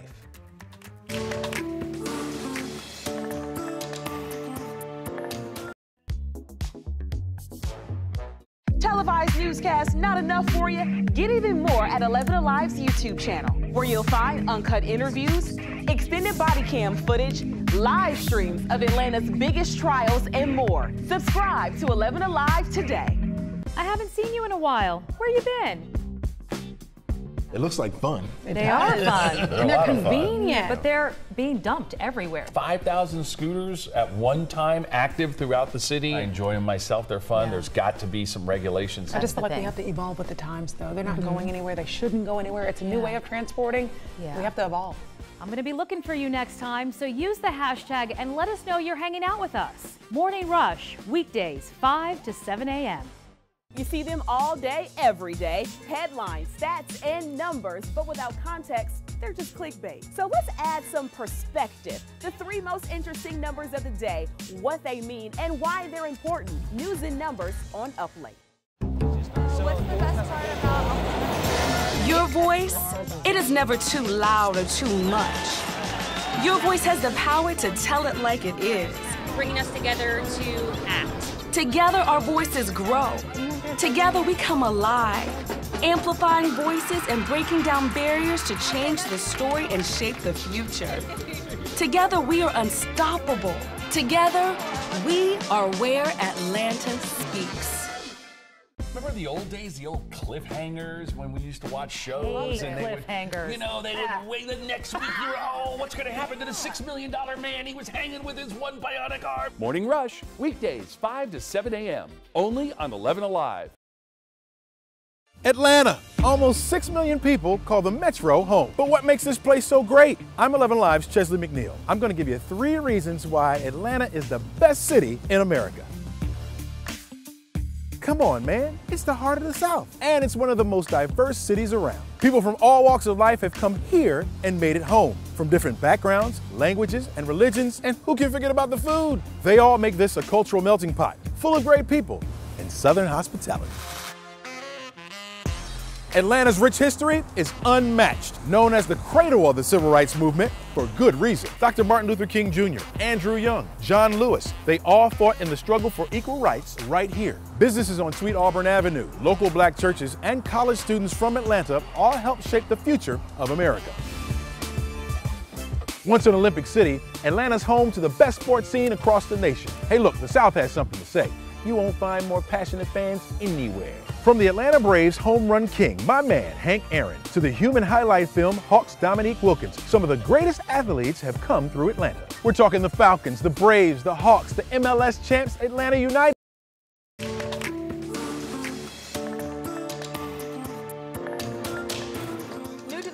The story we first brought you last night on Primetime News. That's right. The State Labor Department tells 11 Alive they are investigating after a Metro Atlanta company suddenly shut down, leaving hundreds of people without jobs. On December 23rd, the employees of Premier Services got an email from the company saying they were having some financial troubles, but were trying to keep the doors open. Then on January 3rd, they got another email saying the company was shutting down effectively immediately. The surprise move left nearly 1,000 employees across the country, including 140 of them right here in Metro Atlanta, without jobs or any kind of back pay, severance pay, or health insurance. And they say the company executives have now varnished, or vanished rather, with their personal files, so they have no way of filing for unemployment. We have also reached out the, to the company, but no one, we haven't heard anything back just yet. Now, when we called the uh, State Labor Department today, they were unaware that the company was actually closing up. After looking into it a little bit further, they said it doesn't appear the company filed the required paperwork through their department before shutting down. So according to state and federal law, companies are required to notify the Labor Department and file the proper paperwork 60 days before closing. They must also notify employees 60 days prior, but there are no legal penalties for not following these laws. However, if employees choose to take civil action, the employer could be forced to pay them back pay and provide health insurance for each day they were short of that 60 day requirement. The Labor Department tells us that they are now deploying their rapid response team to try to get in contact with the company. Yeah, they're trying to help them out. So they said that they will do everything they can to try to help the employees go through the process of filing for unemployment and find new work. And so far, they have not been able to reach anyone with the company. So this is a developing story, and of course, we're going to continue to follow this. I believe I just heard a shot fire come in my residence. I just came up the stairs two rounds. Stay outside. I'll be there about two. Stay outside. Those dramatic moments can be seen in Trigger, an 11 Alive investigation that's been watched hundreds of thousands of times on our 11 Alive YouTube page. Jessica Boynton was married to her high school sweetheart, a Griffin police officer, for just six months before she was found locked in a closet, a gunshot wound to the head. The bullets were fired from her husband's service weapon, but who pulled the trigger? Over three years, Chief Reveal investigator Brendan Keefe dug into what really happened, and now he's taking us through all the twists and turns of this strange case in a new podcast. The Officer's Wife launches Monday. You can subscribe for free wherever you get your podcasts. And after you listen, please rate it and post a review. Well, we're watching just a few showers out there tonight, but we'll see the rain pick up as we head into the overnight hours as we'll have that first initial line coming out of Alabama. But the main line is still back in eastern Texas, Oklahoma, Arkansas, where it has brought a lot of severe thunderstorms tonight and some tornadoes. And look at this tornado environment. It continues to become more and more enhanced as we head into the evening hours. That's why we still have some tornado watches in place as the system advances in our direction. And that's where the risk, of course, is worse tonight for severe storms, a level four out of five really from East Texas over to the Mississippi River Valley. And this all moves our direction tomorrow. So during the afternoon, our conditions will go downhill. We do have a tornado risk as well as a damaging wind gust risk. And those winds could be as strong as category one hurricane. And so they could really bring uh, some trees down and do a lot of damage. So you may want to secure anything on your balconies or around your home as uh, they could become projectiles if the winds get strong enough. And we're expecting gusts up to 35 miles per hour. And those are just straight line winds. Tor uh, tornadoes, of course, would be much stronger winds. Even severe thunderstorms could produce those winds over 70 miles per hour. Looking out over Athens tonight, you can see it is a pretty quiet night. I saw folks just milling around there a little earlier, but it is not going to be so nice as we head into tomorrow afternoon and evening. Just look at this water vapor satellite imagery. You can see how these storms have just been exploding over uh, the southern plains tonight, and that is what is going to be over us as we head into tomorrow. So temperatures overnight will be very mild during the overnight hours as we have that southerly flow ahead of the front. That's taking our temperatures up, up, up. So by tomorrow, we'll be in the 70s during the day. So showers will continue to increase overnight. We'll have a severe potential on our Saturday afternoon and evening. And then once that's over with, that front actually pulls up stationary and then comes back at us and directs all kinds of moisture in here like a fire hose. So we'll have flooding rain possible Monday, Tuesday, Wednesday of next week. So timing of our showers tonight, they're still going to be pretty light overnight. I think what you'll notice the most as you head out the door tomorrow early is not just the showers around, but those gusty winds that are going to be picking up throughout the day. So we could have winds up around 30 miles per hour even in the morning, and they'll continue to increase as we head through the afternoon, becoming more persistent and stronger as this frontal system approaches this line of thunderstorms. So this is 5 o'clock according to our future radar. It could speed up a little bit more. It could slow down a little bit. So we can't take this exactly uh, verbatim here, but we'll want to use it as a guide, knowing that early evening through middle of the evening, this is 7.30, we could have some destructive storms just kind of bisecting the state, those moving very slowly to the east. They'll slow down. They move in quickly, but they'll slow down in eastern Georgia, giving them more time to inflict damage from Clayton down into Athens, Covington, maybe 9.30, 10, 11 o'clock. And then that'll continue off to the east So by Sunday morning, we'll get a little break, but then that front's going to come right back at us and bring in more rain Sunday night, and that's just going to set up our pattern for next week. So not as much rain with this first event, although we could still have some areas of flooding because we could have some downpours that could bring in a lot of rain in a short period of time. But the real rain is going to come in Monday, Tuesday, Wednesday, and next week, where we could be talking so much as um, four inches in some spots, maybe even some more in some areas. And that's why we're concerned about flooding. Once we get past the severe this weekend, we'll have to be focused on flooding next week because flooding kills more people annually than any other severe weather entity. So just something to keep in mind. It's always wise to turn around if you come across a flooded street. So severe storms as we head into tomorrow afternoon and evening, a really good chance Everyone will experience those gusty, destructive winds during the day, especially the afternoon and evening. On Sunday, we get a quick break as it moves to our south, but then it comes right back at us again, importing a lot of moisture Monday, Tuesday, Wednesday. So flooding is going to be a real concern as we head into next week. All right, folks, you know what time it is. You see your screen. It is time for Friday's edition of the A Scene, and we are kicking off with a huge congratulations to my uncle of the industry, Mr. Tyler Perry, who just came out with his first ever Netflix movie. In fact, he had a screening last night in downtown Atlanta, and the movie is called A Fall from Grace, and of course, we were there. But before watching the movie, Perry thanked the audience for their continued support and shared this powerful message. So my hope, my heart, my soul for each and every one of you, and I mean this from the bottom of my heart, is everything you've done for us, the dreams and the joy that we're experiencing. I don't care what you're going through in your life. I don't care what it is. My hope is that everything that you put out here comes back to you a millionfold. Whew, amen. A message, right? Now, that was Perry alongside film star Crystal Fox on that stage. The movie is about a woman who goes through a tumultuous divorce only to find a man who seems to be her knight in shining armor. Then things take a sinister turn. Now, I'll be catching up with Perry about the film next week, but be sure to mark your calendars because the film begins streaming on Netflix on January 17th.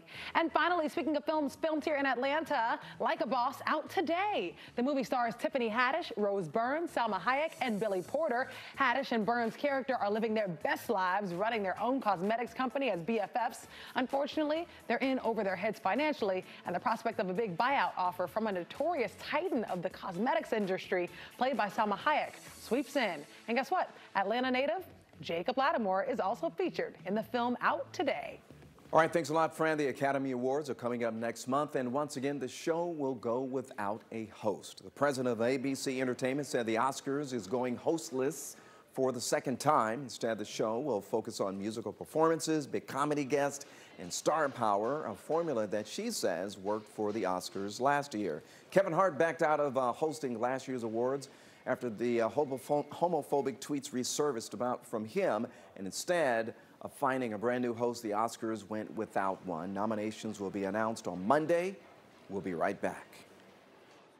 Rights right here. Businesses on Sweet Auburn Avenue, local black churches, and college students from Atlanta all help shape the future of America. Once an Olympic city, Atlanta's home to the best sports scene across the nation. Hey, look, the South has something to say. You won't find more passionate fans anywhere. From the Atlanta Braves home run king, my man Hank Aaron, to the human highlight film Hawks Dominique Wilkins, some of the greatest athletes have come through Atlanta. We're talking the Falcons, the Braves, the Hawks, the MLS champs, Atlanta United. This city has something for every kind of sports fan. So what do you think? Is Atlanta the best city in America? Connect with us. Use Facebook or Instagram and tell us why this city's got it going on. And then watch us every weekday morning from 5 to 7 on the Morning Rush on 11 Alive.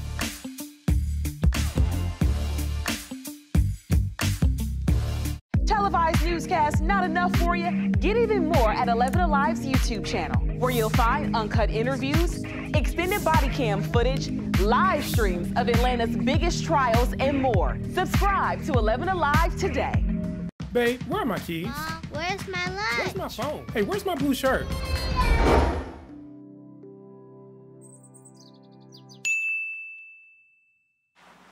Where's my pen? Have you seen it? Everybody has learned how to drive, so I'm going to go ahead and retire.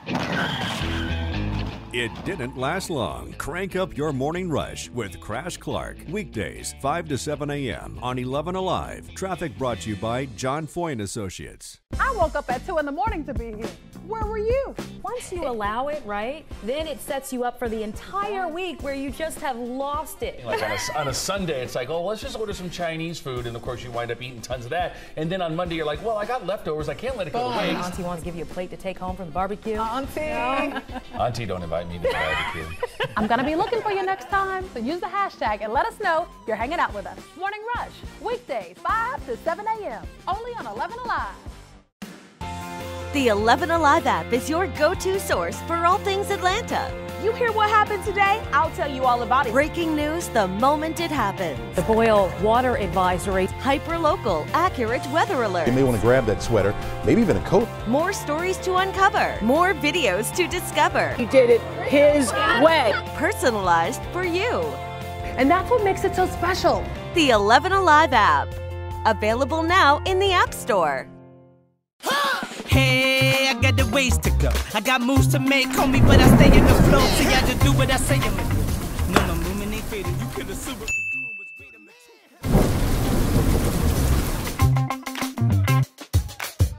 Oh, and so I was saying, there is always something filming here in Atlanta, from movies to TV shows, you name it.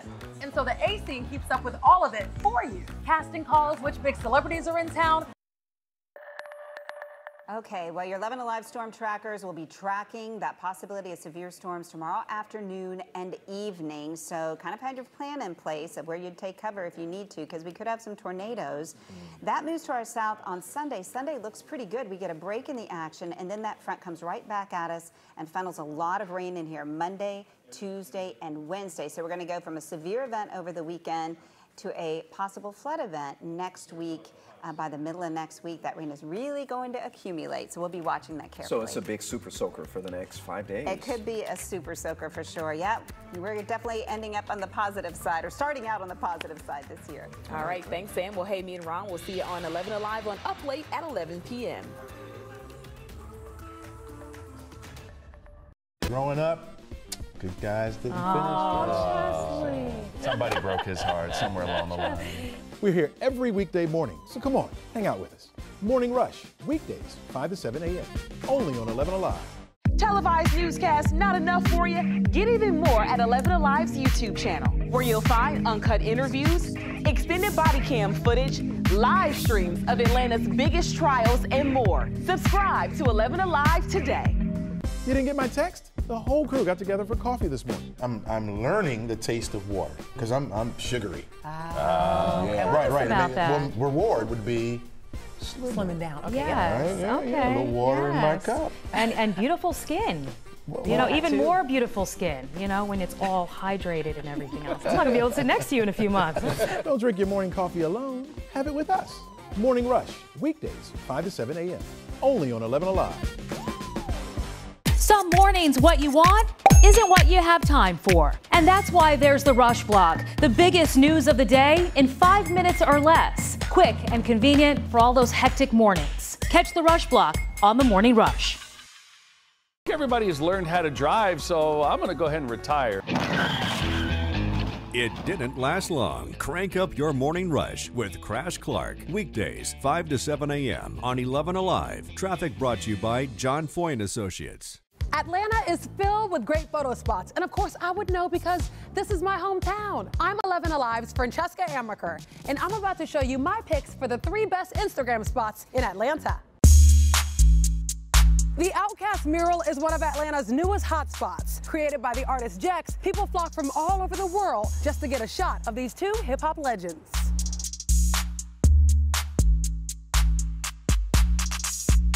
News of the mural went viral when Big Boi himself gave a shout out on Instagram. You can find it tucked away in a back parking lot in Little Five Points. An Atlanta icon, ever changing, always interesting. The Krog Street Tunnel is full of artwork from some pretty eclectic Atlanta artists. You always feel is good vibes. It, vibe with it. it's a good time. We don't worry about the hate, we just pass it to the side. There's graffiti, community messages, concert announcements. You really never know what you're going to get here, and that's what makes it so special. You can find it between Cabbagetown and Inman Park. If you've never checked it out, it's a must-see. There are hundreds of works of art along the Beltline. I'm talking murals, sculptures, photography. This beautiful mural was created by the artist Hense. It's 100 feet long, and even though it was created in 2014, it still remains very popular to musicians and photographers alike.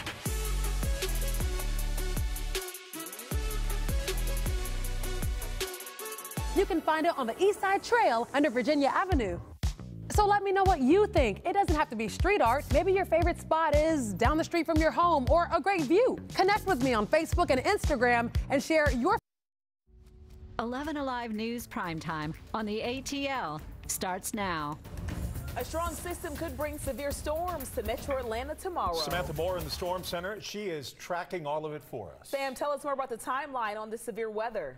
Uh, we're talking about it moving in during the afternoon and evening tomorrow. So right now it's over eastern Texas into eastern Oklahoma. Still some severe thunderstorm warnings out in advance of that and a tornado watch into the early morning hours here across much of Arkansas and Louisiana. So that's what's heading in our direction tomorrow afternoon and evening. So just a few showers out there tonight. They'll become a little more widespread as this line that's in Alabama moves in our direction overnight and into early tomorrow. And then it's in the afternoon and evening that we'll have an increased chance of severe storms. We'll have damaging wind gusts likely, as well as that threat for tornadoes. We have a level one out of five in far east Georgia, level two out of five, really bisecting from north to south, including the Atlanta metro area. And then along the Alabama line here, our counties from Carroll County southward, we have an even better chance, a three out of five chance of seeing severe storms. So here's your timeline. The showers increase tonight. Temperatures very mild in the low 60s as we get the air out of the south that's rich in moisture. Widespread showers Saturday morning with gusty southerly winds increasing to 30 miles per hour. By tomorrow, late afternoon, early evening, severe storms will be developing, moving from west to east very quickly into the state with gusty damaging winds and possible tornadoes. And then once we get into Sunday, the rain will end, but that front is going to stall, and that will have more impacts next week, and we'll talk about all that coming up. We have new information on the breaking news we told you about at the top of the 9 o'clock hour. Smyrna police say a pedestrian was hit by a car and killed on South Cobb Drive and Mill Pond Road. That's just north of Emory Hospital, Smyrna. The ID of the adult victim is not known at this hour. Police say the victim was not in the crosswalk when they were crossing the road. The driver did stop and stayed on scene. Smyrna police say this area is going to be closed to traffic for this investigation, so drivers may want to take a different route. Download the 11 Alive News app to continuously get updates on this developing story. It's becoming a familiar cocktail of crime. Thieves, gas stations, and victims going about their normal routines. Someone goes to fill up their car only to have a thief drive off or steal items from the unlocked doors when their back is turned. It happened recently to a Union City woman at 9 in the morning. Hmm. Hope Ford talked to the victim exclusively and found out there's over a dozen victims at one particular gas station. I was mad, I was frustrated, everything all at one time. A purse stolen at 9 in the morning from this RaceTrac on Jonesboro Road in Union City. The victim didn't want us to show her face or use her name because the thieves got her driver's license. I was almost afraid to leave my house because I didn't know if they was going to try to come to my home. The victim normally puts her purse in the back seat and locks her car. Some reason why I didn't do that, I don't know. So as I was pumping, and I saw this guy that was walking by and he just kept staring at me. She finished pumping gas, got back in her car, and tried to put her debit card in her wallet. They got me. Someone stole my purse. Before she could cancel all her cards, she received emails from Uber. The suspects called for two rides on her account. It's, it's a violation, you know? It's like what can be done? The victim says police told her these crimes happen a lot. We checked with Union City Police and found 19 similar thefts happened at this RaceTrac in two months. I wouldn't. I'd be going back to that gas station. Slider crimes seem to happen quite often across metro Atlanta, from a Douglasville woman losing her purse in the same way to a car stolen at a Union City Shell station with a baby inside to a prize winning show dog nabbed in Conyers. This victim hopes the suspects are caught. Gas stations step up to protect customers, and everyone remembers to lock their car. And she's grateful all they got away with was her purse. But I could have lost my life. The Union City Police report shows the suspect's car is a Kia Optima. However, the victim said police later told her that car was stolen. Well, Georgia will, in all probability, play a crucial role for many Democratic presidential candidates, particularly the former New York City mayor. Mike Bloomberg, who is skipping the early states of Iowa and New Hampshire, is campaigning in states the other candidates have not touched yet. Ryan Kruger takes a look at the role Georgia could play. Mike Bloomberg's never been afraid of tough fights. There's a good chance you've seen a lot of Mike Bloomberg on your TV lately. This ad from the former New York mayor aired more than 20,000 times in Georgia just last month. Unlike everyone else in this race, I already have a record of beating Donald Trump time after time. Bloomberg campaigned in Atlanta on Friday. He and billionaire Tom Steyer are the only two Democratic candidates on the air in Georgia so far. Each of them has spent more than a million dollars on TV ads. Since Bloomberg got into the race so late, he's skipping the early states like Iowa and New Hampshire and is instead focusing on Super Tuesday. It will feature several southern states having their primaries at the beginning of March, and Georgia primary comes three weeks later. I understand that some people think Georgia is a red state, but not me. I believe Georgia is a swing state. And together we can and will turn it blue. Meanwhile, another high profile Georgia politician is on the campaign trail as well. Hi, I'm Keisha Lance Bottoms, Mayor of Atlanta. Mayor Bottoms spent Friday making several stops all across Iowa for Joe Biden. I believe in Joe Biden, and I know that he is the only one who can actually win this election. And over on the Republican side, the president's daughter, Ivanka Trump, will be here campaigning for her father next week. She will be speaking about human trafficking and how the administration has been trying to combat it. All right, thank you, Ryan. Six people end up in the hospital after police say a team took off in a stolen car. Police say officers spotted the stolen car this morning near Wellborn and Marbut, but the 19-year-old behind the wheel took off. Moments later, police say he crashed into another car on Giles Road, hurting two innocent people. They were taken to the hospital along with the four suspects in the stolen car. Police say the car was stolen earlier during a home invasion in Rockdale. This into our newsroom here in the last few minutes. Two people have been arrested accused of robbing a man and shooting him, leaving him to die in the woods. Cobb County police say 23-year-old Terrence Marshall and 19-year-old Dontavian Jones are connected to the DeWenzel Spencer death. The victim's body was found in the woods on Queens Mill Road in 2016. Investigators believe he was walking to the Five Points MARTA station about 4 a.m. He was then picked up by two people in a van. They allegedly took him to an ATM and robbed him. Cobb police say this case still is under investigation. A local brewery has come up with a pretty unique way to curb human trafficking in metro Atlanta. It ended up getting a major airline's attention, leading to a new partnership to combat the problem. Joe Henke is here to tell us more about the message behind Freedom Fighter Brew. Inside Gate City Brewing for founders Brian Borngesser and Pat Rains, their Freedom Fighter IPA is more than a beer. On the front, we have the Freedom Fighter X, and then on the back, you can see we have uh, some facts about ending human trafficking. And there's also a national hotline number people can call or text for help or to report suspected trafficking. It's a difficult topic to talk about, um, and so bringing awareness and just putting it out there in a way that people can talk about um, was a big key. The beer came to be out of talks with the Roswell Rotary about the Rotary's ongoing efforts to end modern day slavery. Gate City suggested making a beer to help. A short time later, Freedom Fighter joined the brewery's lineup and they began selling six packs, pints, and shirts. Then Delta Airlines called. Well, we've had a couple pinch me moments since Gate City's been uh, been founded, and this was definitely one of them. Uh, like Pat said, this was something that we didn't anticipate becoming what it's become. Uh, we did it to raise awareness for a very important issue. Delta wanted to sell Freedom Fighter on flights as part of the airline's ongoing efforts to fight human trafficking. A huge undertaking for a fast growing but small brewery. We stopped everything that we were to make sure that we could take care of Delta. So there were some conversations that happened about what the volume, what their ask was going to be, what they were going to require from us, and we immediately stopped and looked at the production plan. Gate City's founders say they have always looked for ways to give back to their community, and now they're sending their beer some 30,000 feet up on Delta flights and taking their mission of giving back to new heights. Through Gate City Brewing Company to go and do something that um, like this Delta partnership, like this beer, and get it out there and the potential to save a life. I mean, it really makes you stop and think. It's a business, um, but it really can be more. The NFL is trying to address human trafficking as we get closer to next month's Super Bowl in Miami. The league is posting notices on planes, trains, and billboards to make sure people know about the increase in human trafficking that comes with the game.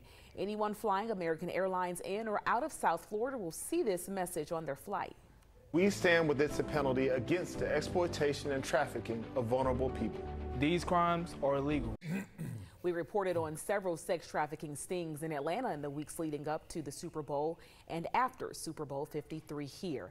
Last year, we saw efforts to fight human trafficking from Delta Airlines. They released an in-flight video ahead of the game on how to spot signs. Now, as Miami deals with a similar issue, the city has actually created a specialized hotline for tips about suspicious activity around the Super Bowl. It's called 305 Fix Stop. There is, of course, a national human trafficking hotline. That number is at the bottom of your screen right now. The flu and vaping illnesses have very similar symptoms, and that is creating problems with diagnoses. We are connecting the dots coming up. I'm meteorologist Chris Holcomb from the 11 Alive Storm Trackers. We've been telling you this week about our severe weather threat for Saturday. These storms, with the threat for damaging winds and possible tornadoes, are most likely in the afternoon and evening hours on Saturday. This is at the same time as our broadcast of the NFL playoff game between the 49ers and the Vikings. So here's our plan. If tornado warnings are issued, we will need to break into the game to deliver life-saving information for those people in the path of the storm. But we plan to do a split screen that will show our weather coverage on one side of the screen and the football game on the other side of the screen in order to alert you of the storms. We will also utilize our sister station, WATL, also 11alive.com, the 11 Alive app, and our YouTube channel for additional severe weather coverage. We will be very mindful of your desire to see the game while also passing along severe weather information at the same time. The 11 Alive Storm Trackers are committed to keeping your family safe. Bionic arm. Morning Rush, weekdays 5 to 7 a.m. Only on 11 Alive. Atlanta. Almost 6 million people call the Metro home. But what makes this place so great? I'm 11 Live's Chesley McNeil. I'm going to give you three reasons why Atlanta is the best city in America.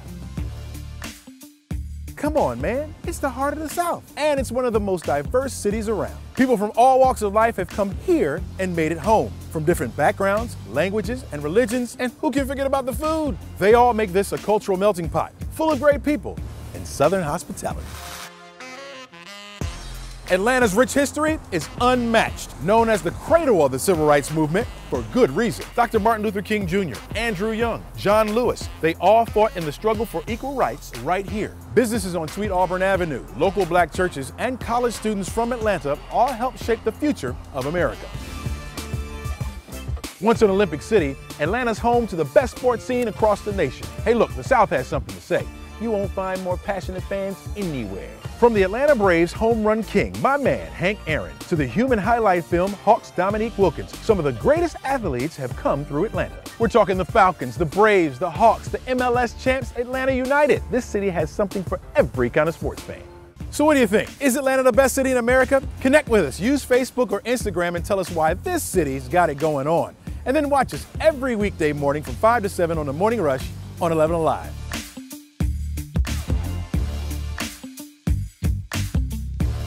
Televised newscast not enough for you? Get even more at 11 Alive's YouTube channel, where you'll find uncut interviews, extended body. The number of people being treated for the flu in Georgia well above average. Down significantly, though, from the end of 2019, according to new data. Released by the Department of Health today, five people have died, nearly 150 hospitalized, in the first week of the new year. That makes 22 deaths since September. Overall, more than 8,000 cases of the flu were reported over the past week. About half of those cases are people under the age of 25. So as the flu spreads, doctors have this issue. They have a dilemma. They have something that they really have to look at closely, and that is figuring out what exactly is the flu and what is a vaping illness because they, they look very similar. Why are the, the two so easy to confuse? 11 Alive's Jennifer Bellamy connecting the dots for us. According to the experts, the flu and other respiratory viruses look remarkably similar to vaping illness. That includes shortness of breath, night sweats, low oxygen levels, and spots on the lungs picked up by x ray. Adding to the confusion, people who vape heavily are much more likely to get the flu. So if you show up at the doctor's office with these symptoms and test positive for the flu, they may give you some Tamiflu and send you home. But if you have the vaping illness, you need much more aggressive treatment and hospitalization. Right now, the CDC is telling doctors that if they have a patient who vapes and has flu symptoms, to treat them for both.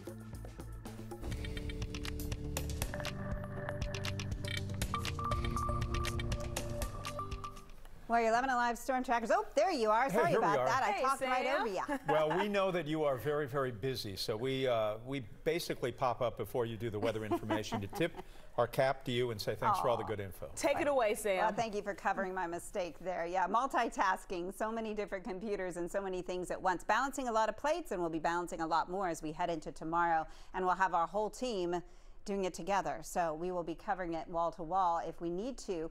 You can see a few showers out there tonight, but there is some more moderate rain to our west over Alabama. That will be moving in in the early morning hours. But really, the main event still here over the plain states, over Oklahoma, and through Texas, and also into Arkansas. The Ozarks getting hit hard tonight, as well as St. Louis. But this whole system is going to be moving to the east, bringing its tornado threat and severe thunderstorm threat along with it during the afternoon and evening tomorrow. I was just looking at this tornado environment. So it is instability and shear. It uses those parameters to kind of dictate where the tornadoes could be. And you can see how it did kind of peak within the last hour or so. It's probably losing some of the energy from daytime heating. So usually at night we get a little bit of weakening and then they can strengthen again. But we're looking at that bullseye still over the Arklatex stretching over to Mississippi. That moves to our east tomorrow. So uh, moves to the east of there tomorrow. So it moves in tomorrow for us. Slight risk, level two out of five for the Atlanta metro area, and then uh, three out of five risk here in Alabama and in West Georgia, really from uh, Troup County into Heard County, Carroll County, Haralson County. We'll have that better threat for long track tornadoes that could stay on the ground for a long time and do a lot of damage, as well as gusty winds. Could be as strong as hurricane force in some of the thunderstorms, and sustained winds could have gusts up to 35 miles per hour. So we are expecting trees and tree limbs to come down and power outages, unfortunately. Over Rome, we look right now. You can see the, the flags are flying, but they're going to be whipping a lot stronger uh, tomorrow, even during the morning and throughout the day. Those winds are going to continue to increase as that front approaches. So batten down the hatches around your house and secure any loose objects that could become projectiles, because they could as we head into the uh, late afternoon hours. Temperatures are warm ahead of the system as we see those southerly winds continue to bring in warmer air. So we're right around 60 degrees. We're 62 in Rome, 64 in Dalton, and temperatures will be in the low to mid 60s much of the night with those rain chances going up as we head into tomorrow morning. So showers increase overnight into tomorrow. Severe threat will be tomorrow afternoon and evening, and then flooding rain will be possible next week. By the way, we're going to put a little QR code up here. You know, that's how you can get to places on the uh, World Wide Web, and this will direct you to the 11 Alive app. Just aim your camera at it, and it will show you how to download the app quickly, and then you just a couple of steps to set up your notifications so you can get warnings if there is uh, anything severe in your neighborhood. So we'll be doing wall-to-wall coverage. It'll be on the app as needed as we head through the afternoon and evening. So showers moving in as we head into the overnight and through tomorrow. That line of storms on approach as we head into the evening hours. So late afternoon, early evening is when we expect that line to move to the east. This is mid-evening, maybe around 8 o'clock from Blairsville down into LaGrange and then moving to the east from Clayton into Athens storms in Thomaston later in the evening. So it's going to come in fast and then it's going to slow down and pull up stationary over South Georgia and then come back at us with flooding rain potential as we head into next week. So we're going to go from a severe weather event over the weekend to a possible flood event next week. So tomorrow we start out showery and windy and then the severe storms move in late in the afternoon and evening. Uh, getting into Sunday, a 20% chance of rain after it clears through. It'll look pretty good first half of the day, and then the rain comes back at us and sticks with us Monday, Tuesday, and into Wednesday. And we could be talking about a pretty big flood event next week. All right, thanks, Sam. Well, check this out. After buying a brand new Ring security camera, one woman in Texas left feeling anything but protected. The device was already registered to someone else, and contacting Ring didn't bring any peace. Jay Wallace with our sister station in Dallas has more on this unsettling situation. Sandra Robinson is someone who wants to feel safe inside her DeSoto home, even when she's not there. You could see who was at your door. Robinson is talking about her video doorbell from Ring. She also has a camera in her living room. Both work just fine. You have to have a wireless connection in order to get the camera to work in order to see it on your phone. But when she tries setting up her new floodlight camera, she gets this message. The device is still registered to its owner. Who's that owner? I don't know. Should be me. Robinson says she bought the camera brand new and she has the receipt to prove it. She didn't find out it was registered to someone else until she contacted Ring support. That's dangerous. I mean, it's it's evasive, invasive. You know, you don't know what's going on. I mean, it's disturbing. Her concern grew even more after seeing recent reports of hacked Ring cameras. Like Tanya Amador, whose login information was stolen in a data breach. She shared this video with us in December. Your account has been terminated by a hacker. Really catches you off guard.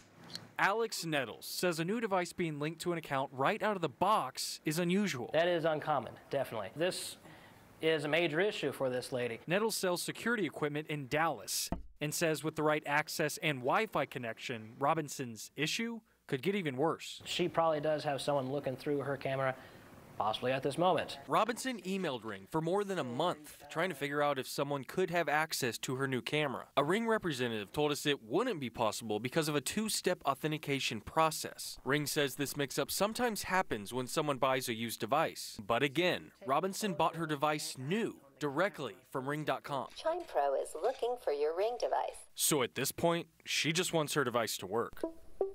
I'm also paying for, you know, uh, being able to view the camera. Mm-hmm. So mm-hmm. why not give me a camera that I'm able to install successfully and able to view on my network? And hopes for a resolution or a refund. Separate from that woman's concerns, Ring has fired four of its workers for snooping on customers' video feeds. The company says those employees should never have accessed them, and now only three people in the entire company have access to the feeds. They're also changing the settings on all new cameras to help prevent hacking. I'm Francesca Amiker with the A Scene. Are you ready to boss up? Well, an Atlanta native stars alongside major actresses in a new movie that was filmed right here in Atlanta, and it comes out today. John Lewis. They all fought in the struggle for equal rights right here. Businesses on Sweet Auburn Avenue, local black churches, and college students from Atlanta all helped shape the future of America. Once an Olympic city, Atlanta's home to the best sports scene across the nation. Hey, look, the South has something to say. You won't find more passionate fans anywhere. From the Atlanta Braves home run king, my man Hank Aaron, to the human highlight film Hawks Dominique Wilkins, some of the greatest athletes have come through Atlanta. We're talking the Falcons, the Braves, the Hawks, the MLS champs, Atlanta United. This city has something for every kind of sports fan. So what do you think? Is Atlanta the best city in America? Connect with us. Use Facebook or Instagram and tell us why this city's got it going on. And then watch us every weekday morning from 5 to 7 on the Morning Rush on 11 Alive.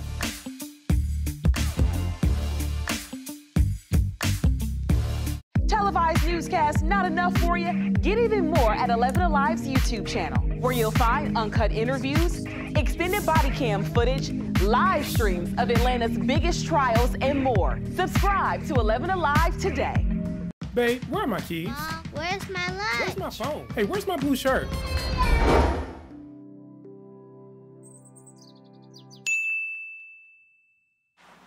Where's my pen? Have you seen it? Everybody has learned how to drive, so I'm going to go ahead and retire. It didn't last long. Crank up your morning rush with Crash Clark. Weekdays, 5 to 7 a.m. on 11 Alive. Traffic brought to you by John Foy and Associates. I woke up at 2 in the morning to be here. Where were you? Once you allow it, right, then it sets you up for the entire week where you just have lost it. Like on a, on a Sunday, it's like, oh, let's just order some Chinese food, and of course you wind up eating tons of that. And then on Monday, you're like, well, I got leftovers, I can't let it go to waste. Auntie wants to give you a plate to take home from the barbecue. Auntie. No. Auntie, don't invite me to the barbecue. I'm going to be looking for you next time, so use the hashtag and let us know you're hanging out with us. Morning Rush, weekdays, 5 to 7 a.m., only on 11 Alive. The 11 Alive app is your go to source for all things Atlanta. You hear what happened today? I'll tell you all about it. Breaking news the moment it happens. The boil water advisory. hyperlocal, accurate weather alert. You may want to grab that sweater, maybe even a coat. More stories to uncover, more videos to discover. He did it his way. Personalized for you. And that's what makes it so special. The 11 Alive app. Available now. All right, folks, you know what time it is. You see your screen. It is time for Friday's edition of the A Scene, and we are kicking off with a huge congratulations to my uncle of the industry, Mr. Tyler Perry, who just came out with his first ever Netflix movie. In fact, he had a screening last night in downtown Atlanta, and the movie is called A Fall from Grace, and of course, we were there. But before watching the movie, Perry thanked the audience for their continued support and shared this powerful message.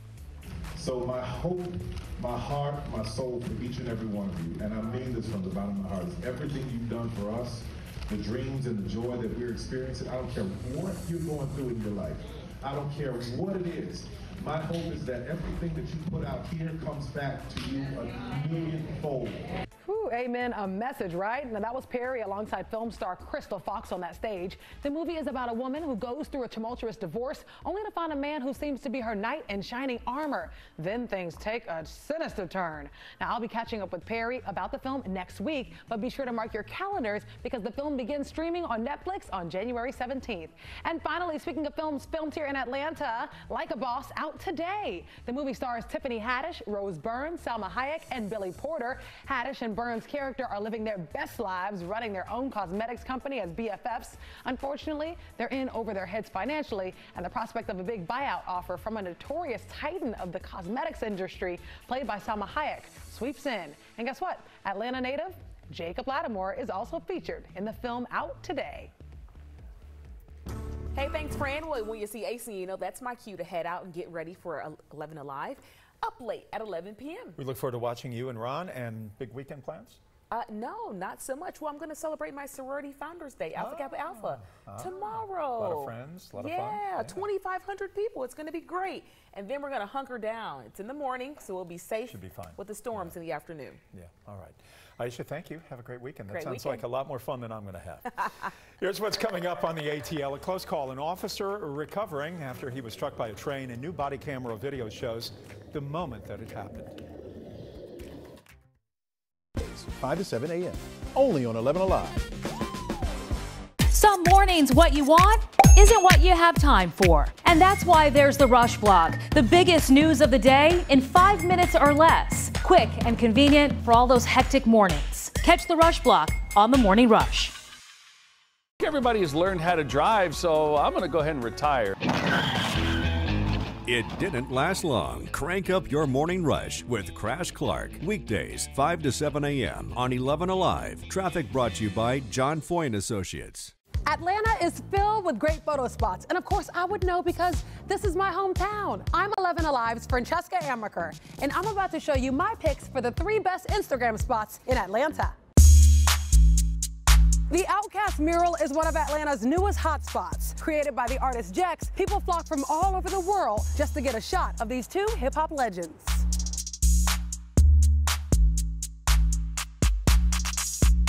News of the mural went viral when Big Boi himself gave a shout out on Instagram. You can find it tucked away in a back parking lot in Little Five Points. An Atlanta icon, ever changing, always interesting. The Krog Street Tunnel is full of artwork from some pretty eclectic Atlanta artists. Yeah, all we feel is good. With it, vibe with it, it's a good time. We don't worry about the hate, we just pass it to the side. There's graffiti, community messages, concert announcements. You really never know what you're gonna get here, and that's what makes it so special. You can find it between Cabbagetown and Inman Park. If you've never checked it out, it's a must-see. There are hundreds of works of art along the Beltline. I'm talking murals, sculptures, photography. This beautiful mural was created by the artist Hense.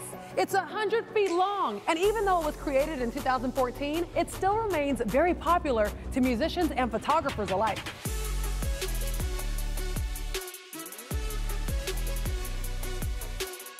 You can find it on the East Side Trail under Virginia Avenue. So let me know what you think. It doesn't have to be street art. Maybe your favorite spot is down the street from your home or a great view. Connect with me on Facebook and Instagram and share your favorite Instagram spots in Atlanta. And come hang out with me on Morning Rush, weekdays 5 to 7 a.m. on 11 Alive. Televised newscasts not enough for you? Get even more at 11 Alive's YouTube channel, where you'll find uncut interviews, extended body cam footage, live streams of Atlanta's biggest trials, and more. Subscribe to 11 Alive today. I haven't seen you in a while. Where you been? It looks like fun. They are fun. And they're a lot of fun. But they're being dumped everywhere. 5,000 scooters at one time active throughout the city. I enjoy them myself. They're fun. There's got to be some regulations. I just feel like we have to evolve with the times, though. They're not Mhm. going anywhere. They shouldn't go anywhere. It's a new Yeah. way of transporting. Yeah. We have to evolve. I'm going to be looking for you next time, so use the hashtag and let us know you're hanging out with us. Morning Rush, weekdays, 5 to 7 a.m. You see them all day, every day. Headlines, stats, and numbers, but without context, they're just clickbait. So let's add some perspective. The three most interesting numbers of the day, what they mean, and why they're important. News and numbers on Up Late. Your voice, it is never too loud or too much. Your voice has the power to tell it like it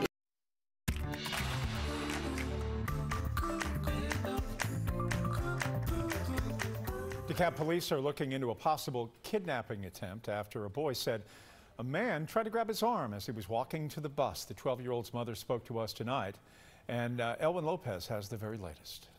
Yeah, that's right, Jeff. Not too far from them. It happened near Latchwood Drive and Post Ridge Trail in Lithonia on Thursday morning. His mom says the boy told police a man jumped out of a car and grabbed him by the arm, but he was able to get away and get on the school bus.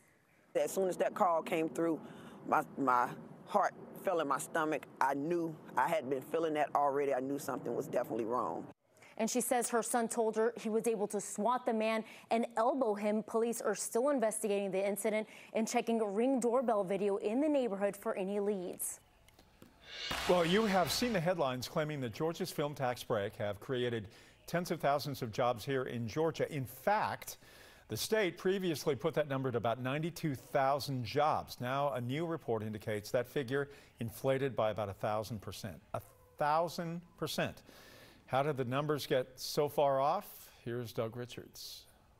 The audit takes aim at what it describes as overinflated claims about the Georgia Film Tax Credit, the money generated, and the number of jobs created. And it focuses on both the economic benefits and the economic costs of the program.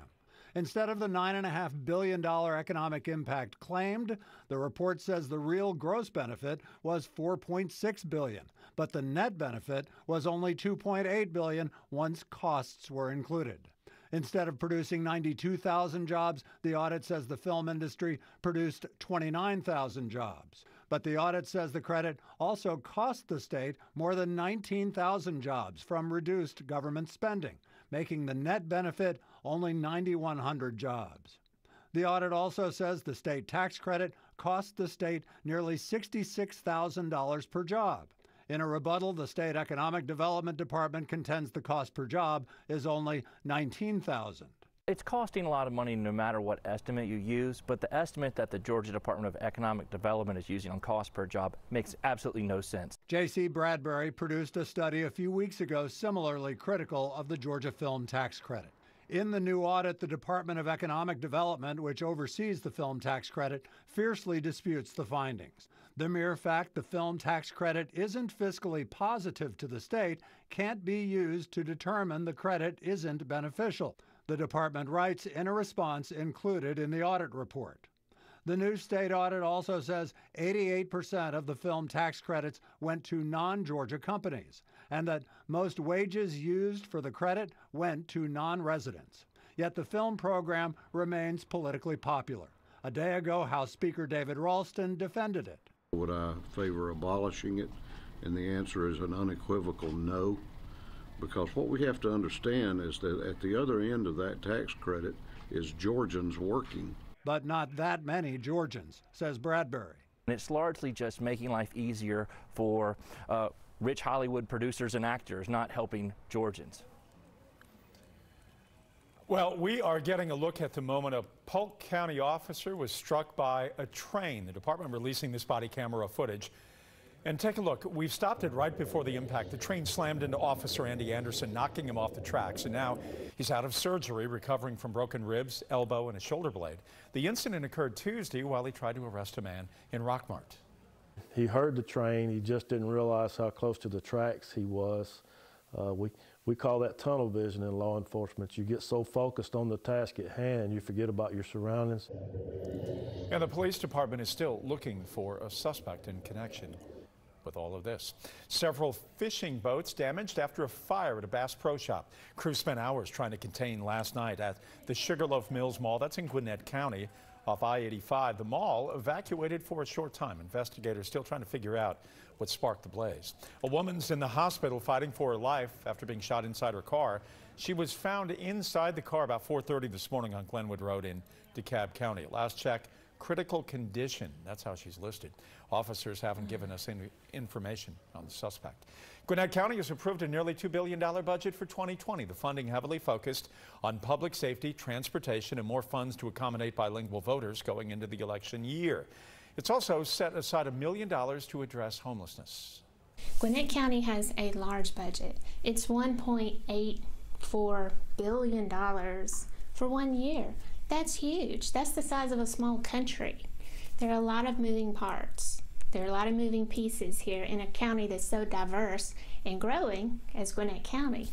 But what I would want citizens to know is that we take providing services to them very seriously and we want to make sure that we provide superior services to them and it does take resources.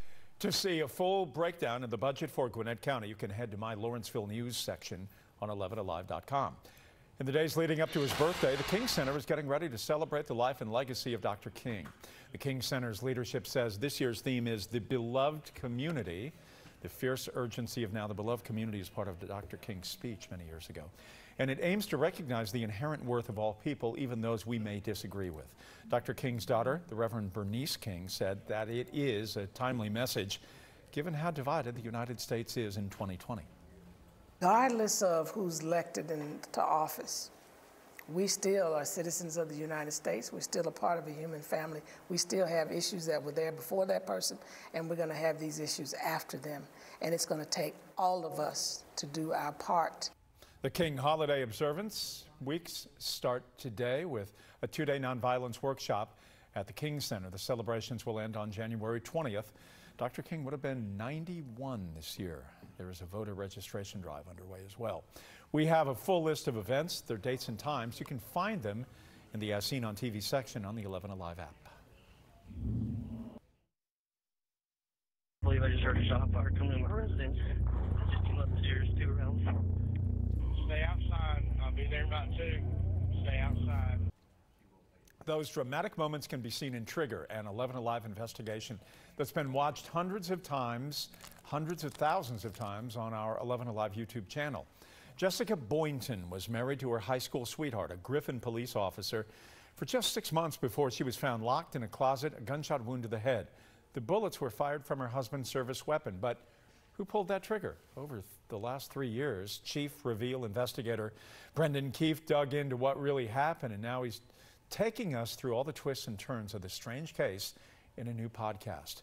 The officer's wife launches Monday. You can subscribe for free wherever you get your podcasts.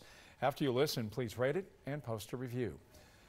Working to find answers, the U.S. sharing information with the Ukrainian government to assist in the investigation of that deadly Tehran plane crash that occurred earlier in the week. And we're watching that severe threat out to our west tonight, and that is going to be moving in our direction on Saturday. So we'll time, you, time it all out, let you know when to expect the worst of the weather, and just how long various threats will be sticking with us. Coming up, Team 1-1 goes to the gym. The son of Dikembe Mutombo has a big game, but he was outdone by another player. Highlights from the hardwood coming up next home or a great view. Connect with me on Facebook and Instagram and share your favorite Instagram spots in Atlanta. And come hang out with me on Morning Rush, weekdays 5 to 7 a.m. on 11 Alive. Televised newscast not enough for you? Get even more at 11 Alive's YouTube channel, where you'll find uncut interviews, extended body cam footage, live streams of Atlanta's biggest trials, and more. Subscribe to 11 Alive today. I haven't seen you in a while. Where you been? It looks like fun. they are fun. They're and they're convenient. But they're being dumped everywhere. 5,000 scooters at one time active throughout the city. I enjoy them myself. They're fun. Yeah. There's got to be some regulations. I just feel like thing. we have to evolve with the times, though. They're not mm -hmm. going anywhere. They shouldn't go anywhere. It's a new yeah. way of transporting. Yeah. We have to evolve. I'm going to be looking for you next time, so use the hashtag and let us know you're hanging out with us. Morning Rush, weekdays, 5 to 7 a.m. You see them all day, every day. Headlines, stats, and numbers, but without context, they're just clickbait. So let's add some perspective. The three most interesting numbers of the day, what they mean, and why they're important. News and numbers on Up Late. What's the best part about Your voice, it is never too loud or too much. Your voice has the power to tell it like it is. Bringing us together to act Together, our voices grow. Together, we come alive, amplifying voices and breaking down barriers to change the story and shape the future. Together, we are unstoppable. Together, we are where Atlanta speaks. Remember the old days, the old cliffhangers when we used to watch shows and they cliffhangers. Would, you know, they would wait the next week. You're oh, what's going to happen to the six million dollar man? He was hanging with his one bionic arm. Morning Rush weekdays 5 to 7 a.m. only on 11 Alive. Atlanta. Almost 6 million people call the Metro home. But what makes this place so great? I'm 11 Alive's Chesley McNeil. I'm going to give you three reasons why Atlanta is the best city in America. Come on, man. It's the heart of the South. And it's one of the most diverse cities around. People from all walks of life have come here and made it home. From different backgrounds, languages, and religions. And who can forget about the food? They all make this a cultural melting pot, full of great people and Southern hospitality. Atlanta's rich history is unmatched, known as the cradle of the civil rights movement for good reason. Dr. Martin Luther King Jr., Andrew Young, John Lewis, they all fought in the struggle for equal rights right here. Businesses on Sweet Auburn Avenue, local black churches, and college students from Atlanta all helped shape the future of America. Once an Olympic city, Atlanta's home to the best sports scene across the nation. Hey look, the South has something to say. You won't find more passionate fans anywhere. From the Atlanta Braves home run king, my man Hank Aaron, to the human highlight film Hawks Dominique Wilkins, some of the greatest athletes have come through Atlanta. We're talking the Falcons, the Braves, the Hawks, the MLS champs, Atlanta United. This city has something for every kind of sports fan. So what do you think? Is Atlanta the best city in America? Connect with us. Use Facebook or Instagram and tell us why this city's got it going on. And then watch us every weekday morning from 5 to 7 on the Morning Rush on 11 Alive.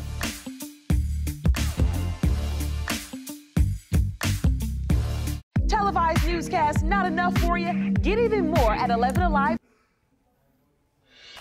Iran is denying it accidentally shot down a Ukrainian plane that crashed outside Tehran, killing all 176 people on board. U.S., Canadian, and British officials said yesterday that intelligence appears to show the plane may have been unintentionally hit by an Iranian missile. The crash occurred hours after Iran fired missiles at bases in Iraq housing U.S. troops in retaliation for the U.S. airstrike that killed their top general. The U.S. has acknowledged having satellites and and sensors in the region where the crash happened, but experts say they may be hesitant to share information because it comes from highly classified sources. Also today, the U.S. announced a new round of sanctions against Iran. At the same time, the president defended the administration's killing of Iran's General Soleimani. Soleimani was actively planning new attacks, and he was looking very seriously at our embassies and not just the embassy in Baghdad. But we stopped him, and we stopped him quickly, and we stopped him cold. President Trump in Ohio last night making the case for killing General Soleimani. His comments came only hours after the House passed a non-binding resolution limiting the president's power to take future military action against Iran. Joining me right now from Washington is NBC's moderator of Meet the Press, Chuck Todd. And Chuck, what do we make of some Republicans like Rand Paul and Mike Lee criticizing the administration for the briefing on Iran? Is the administration going about it the wrong way, or perhaps they don't even care, right? Well, I don't know if they care or not. I think they've, I would call it a big missed opportunity politically. And I say it this way. You, you know this well, Jeff. During the uh, debate over the Iran nuclear deal, there was quite a few Democrats who ended up voting against the deal um, that President Obama negotiated. The point being is there was a way, and previous administrations had been better about this. They could have brought in a bipartisan group here a bit, the Gang of Eight, even, you know, some form of that. Again, Chuck Schumer, much, much more of a hawk when it comes to Iran than any other entity in the Middle East. So I just think it's the way they went about it. It was a bit ham handed by the administration. And I look at it as a simple missed opportunity where they, they in, in some ways, they pushed potential allies away and then they put people who normally might have been more supportive of something like this feeling as if there was just no political space for them to help out. So I, I perhaps we're too polarized and it doesn't matter, but this administration went out of its way not to inform Congress much. Yeah, Congressman Doug Collins from Georgia said, and I'm sort of paraphrasing here, the Democrats love terrorists. Today, uh, he, he backstep on that and, and apologizing about it. But I think it illustrates what you're talking about as far as this polarization, which is yeah. unlike anything that we have really seen. I have to say, when I saw Doug Collins do that, the congressman, it was just one of those, oh, really? Come on. And I was really heartened that he apologized. Because you know what? That, that, you rarely see that anymore. So, you know, it's funny. A lot of times these guys, you know, we, we, you know, we in the media will surface this stuff, and you wonder are they going to apologize? He did apologize, and it wasn't. A, he didn't equivocate on it. He just he said, you know, it was wrong. So he he, he uh, uh, good for him for at least, you know, stepping up and doing that because so few don't. You know, we put out this hot rhetoric now, and it makes you feel good on Twitter because all the people that like you like it and retweet it and, and reinforces it. Right. And it's just so toxic and terrible. And it does make people, I think, do stupid things in public because they think, that, oh, this works well in social media. It'll work well in the real world. And you're like, no, it doesn't. Yeah, what, what is Twitter? Maybe 1%, 2% of the American population, and it drives everything. You know, it's been interesting, Jeff. We, we, uh, we, we poll this all the time with Twitter. And, You know, only 7% of folks when any of survey was ever done say they regularly use Twitter. And it's been that way for four years in a row. They've had no growth. Facebook, on the other hand, people are on Facebook. Yeah. The people, they're not on the Twitter. Hey, but I'll tell you what, Twitter's driving the engine of politics and a lot of pop culture in this country, that's for sure. Drives the engine of our conversation some days, that's for it, sure, it sure which does. is probably too many of our colleagues go on Twitter and provide the fuel. Yeah, no kidding. Meet the Press airs Sunday morning at 10 here on 11 Alive. Chuck, thanks a lot. Appreciate it. Thanks, Jeff. Yep.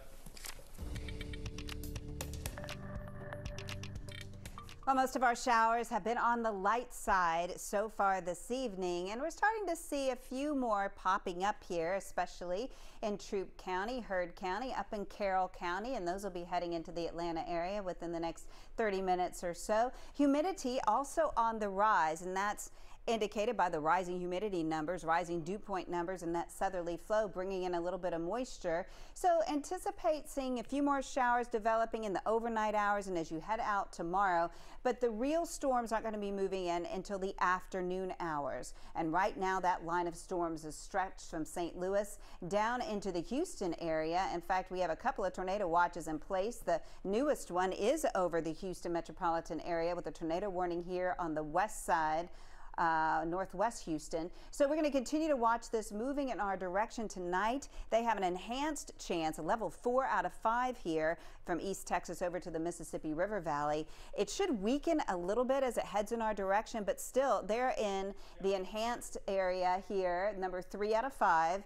Uh, here in uh, Alabama and in West Georgia tomorrow, but that's what they had in Houston, and they had a tornado watch in place. So the chances are good that we could see some severe storms and could see some tornadoes as well as gusty damaging winds. Some of those could be long track tornadoes and it's going to be the sustained winds. I can't even say that now. Sustained winds that could wreak havoc as we head through the day tomorrow as well, bringing trees down. Winds are picking up here in Rome and winds are going to be the main problem for everyone. Not everyone's going to see a severe thunderstorm. Not everyone is going to see a tornado but all of us are going to be impacted by this gusty wind as we head in through the day tomorrow. Temperatures will be mild just like they were today. Today we made it into the mid 60s. 66 was our high temperature, 14 degrees above average. And the next 12 hours staying mild as the rain chances increase into the first part of Saturday. So here comes the timing for you here. While the showers are on the light side, they will be picking up as far as being more widespread first thing in the morning and a little more intense. We're going to put a QR code here on the bottom of your screen and that code, if it appears, you can aim, thank you very much, you can aim your camera at it and it will take you to the 11 Alive app and you can set your notifications as to um, severe thunderstorms and a tornado warning so you can be informed as these storms move in tomorrow afternoon. If you lose power, you can at least have it on your phone. So as we head into the afternoon, the showers pick up, that line moves in late in the afternoon, early evening, continues to move across from west to east at a rapid pace. Then it kind of slows down later in the evening and inflicts its gusty winds in Athens, stretching down into Eatonton in the late evening hours. And that should scoot out overnight. We should see improving conditions, but then the frontal system itself stalls out in South Georgia and comes back up at us for Sunday night, Monday, Tuesday, and Wednesday, and it will route a lot of rain coming in off the Gulf of Mexico, a lot of moisture. It'll tap into rich Gulf moisture, and we'll have rain Monday, Tuesday, Wednesday of next week. So tomorrow we're showery and windy, severe chance late in the day. Sunday, a bit of a break as we clear it out for a bit, and then heavy rain moves in Monday, Tuesday, and Wednesday of next week. Sports time. It was only a few years ago the Hawks and the Wizards met in the second round of the playoffs. How times have changed. Now the teams are combined 35 games under 500 as they met in the nation's capital. Things look good for a while for the Hawks. John Collins with another double-double, 15 points and 15 boards. The Hawks took a six-point lead into the fourth quarter, but the Wizards went on a 23-10 run. Hawks didn't have any answer. Trae Young, 19, but he went 0 for 7 on three pointers. Washington a winner, 111 to 101. Tough times for the Hawks organization in this season of 2019 2020. High school basketball from our friends at Born to Compete. Pace and love it. When you play Lovett, you have to deal with Ryan Mutombo, Dikembe's son, wearing number 21, standing 6 feet 10. A big block shot then follows a miss with a putback. 31 points for Mr. Mutombo, but Pace got a big night from Matt Cleveland. He had 42, including this big jam. Lovett comes back with a big three from Josh Joshi. Pace too much, led by Matt Cleveland, 84-71 the final. Pace gets the win in Lovett's gym. We're moving on. Uh, we're trying to just keep going. Bigger games ahead of us. Just keep building, building all the way to state championship. One college football game left. The championship game Monday night. Trevor Lawrence from Cartersville and the Clemson Tigers have touchdown in New Orleans. Clemson is a prohibitive underdog. We've heard that before. Coach Dabo Swinney will probably remind all of us all weekend long. A shorter trip for LSU. Those Tigers made the 98-mile trek from Baton Rouge to New Orleans. By the way, the university canceled all classes Monday and Tuesday because of the game. That, ladies and gentlemen, is one of the worst Ed Orgeron impressions you will hear in the next 72 hours. While you're waiting for football on Monday, check out Atlanta's newest sports team on Sunday. Rugby ATL plays its first match, a preseason game against New Orleans at Life University in Marietta. Major League Rugby, a 12-team league with the regular season starting in February. The team has players from Atlanta and New Zealand. Having a pro team um, in this area, I think, is, is great for the game. You know, it's, it's growing the fan base, is getting people excited. You know, um, Atlanta's had rugby, but Atlanta hasn't had a rugby team, which I think is, is going to be a big game changer in terms of growth for the sport in the area. Hope it grows. It looks like fun. The weather forcing UGA's basketball game at Auburn to move up to noon. It was scheduled for 6 p.m. Saturday tip. That is sports. We'll be right back. The Boil Water Advisory. Hyper-local, accurate weather alert. You may want to grab that sweater, maybe even a coat. More stories to uncover. More videos to discover. He did it his way. Personalized for you. And that's what makes it so special. The 11 Alive app. Available now in the App Store. Hey, I got the ways to go. I got moves to make, call me, but I stay in the flow. So y'all just do what I say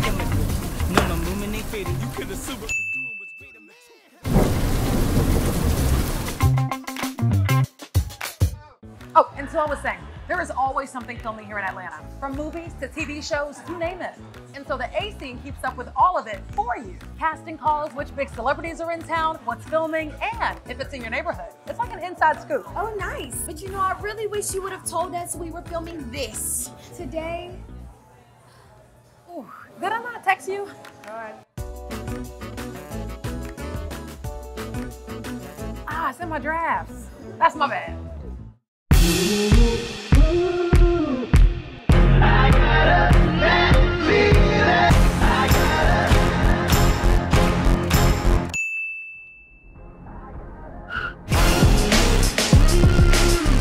So you slept in and you missed morning rush, huh?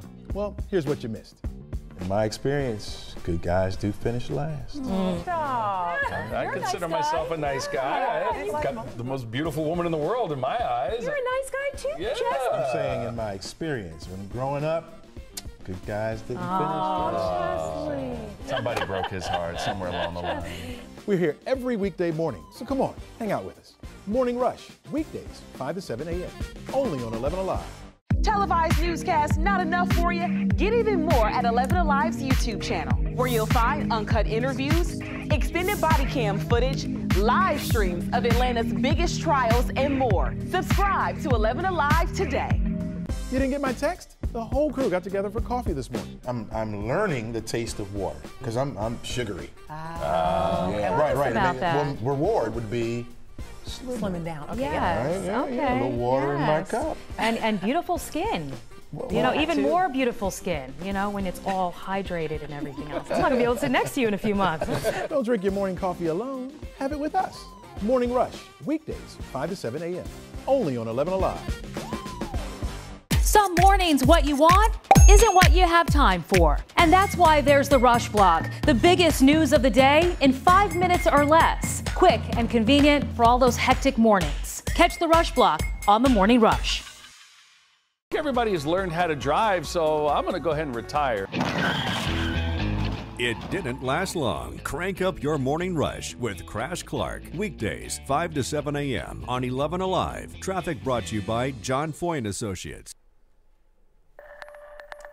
Okay, it's going to be an interesting weekend to say the least. You'll want to spend your time inside tomorrow afternoon and evening. Football may be a good option to watch on TV if we can keep power because we're going to have gusty winds that could bring a lot of power lines down. And also, we have that tornado risk into the afternoon and evening hours. Good news is it'll be out of here for Sunday. We can be on cleanup patrol, and then it looks very wet next week. And our team has it completely covered. You guys are everywhere. Yeah, we will be wall to wall if necessary, keeping you informed. All right, thanks. Thanks for watching us. We appreciate it. An Atlanta icon, ever changing, always interesting. The Krog Street Tunnel is full of artwork from some pretty eclectic Atlanta artists.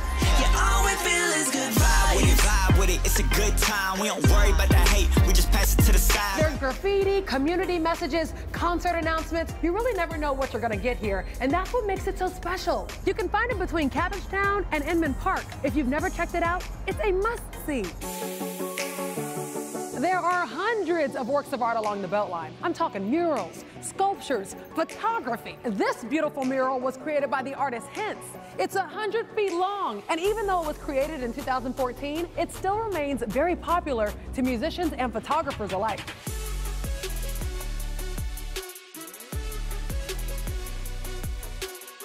You can find it on the East Side Trail under Virginia Avenue. So let me know what you think. It doesn't have to be street art. Maybe your favorite spot is down the street from your home or a great view. Connect with me on Facebook and Instagram and share your favorite Instagram spots in Atlanta. And come hang out with me on Morning Rush, weekdays 5 to 7 a.m. on 11 Alive.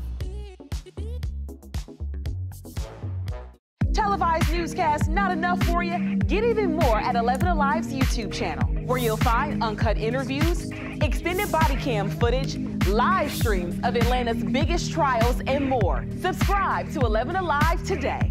I haven't seen you in a while. Where you been? It looks like fun. They are fun. They're and they're convenient. But they're being dumped everywhere. 5,000 scooters at one time active throughout the city. I enjoy them myself. They're fun. Yeah. There's got to be some regulations. I just feel like thing. we have to evolve with the times, though. They're not mm -hmm. going anywhere. They shouldn't go anywhere. It's a new way of transporting. Yeah. We have to evolve. I'm going to be looking for you next time, so use the hashtag and let us know you're hanging out with us. Morning Rush, weekdays, 5 to 7 a.m.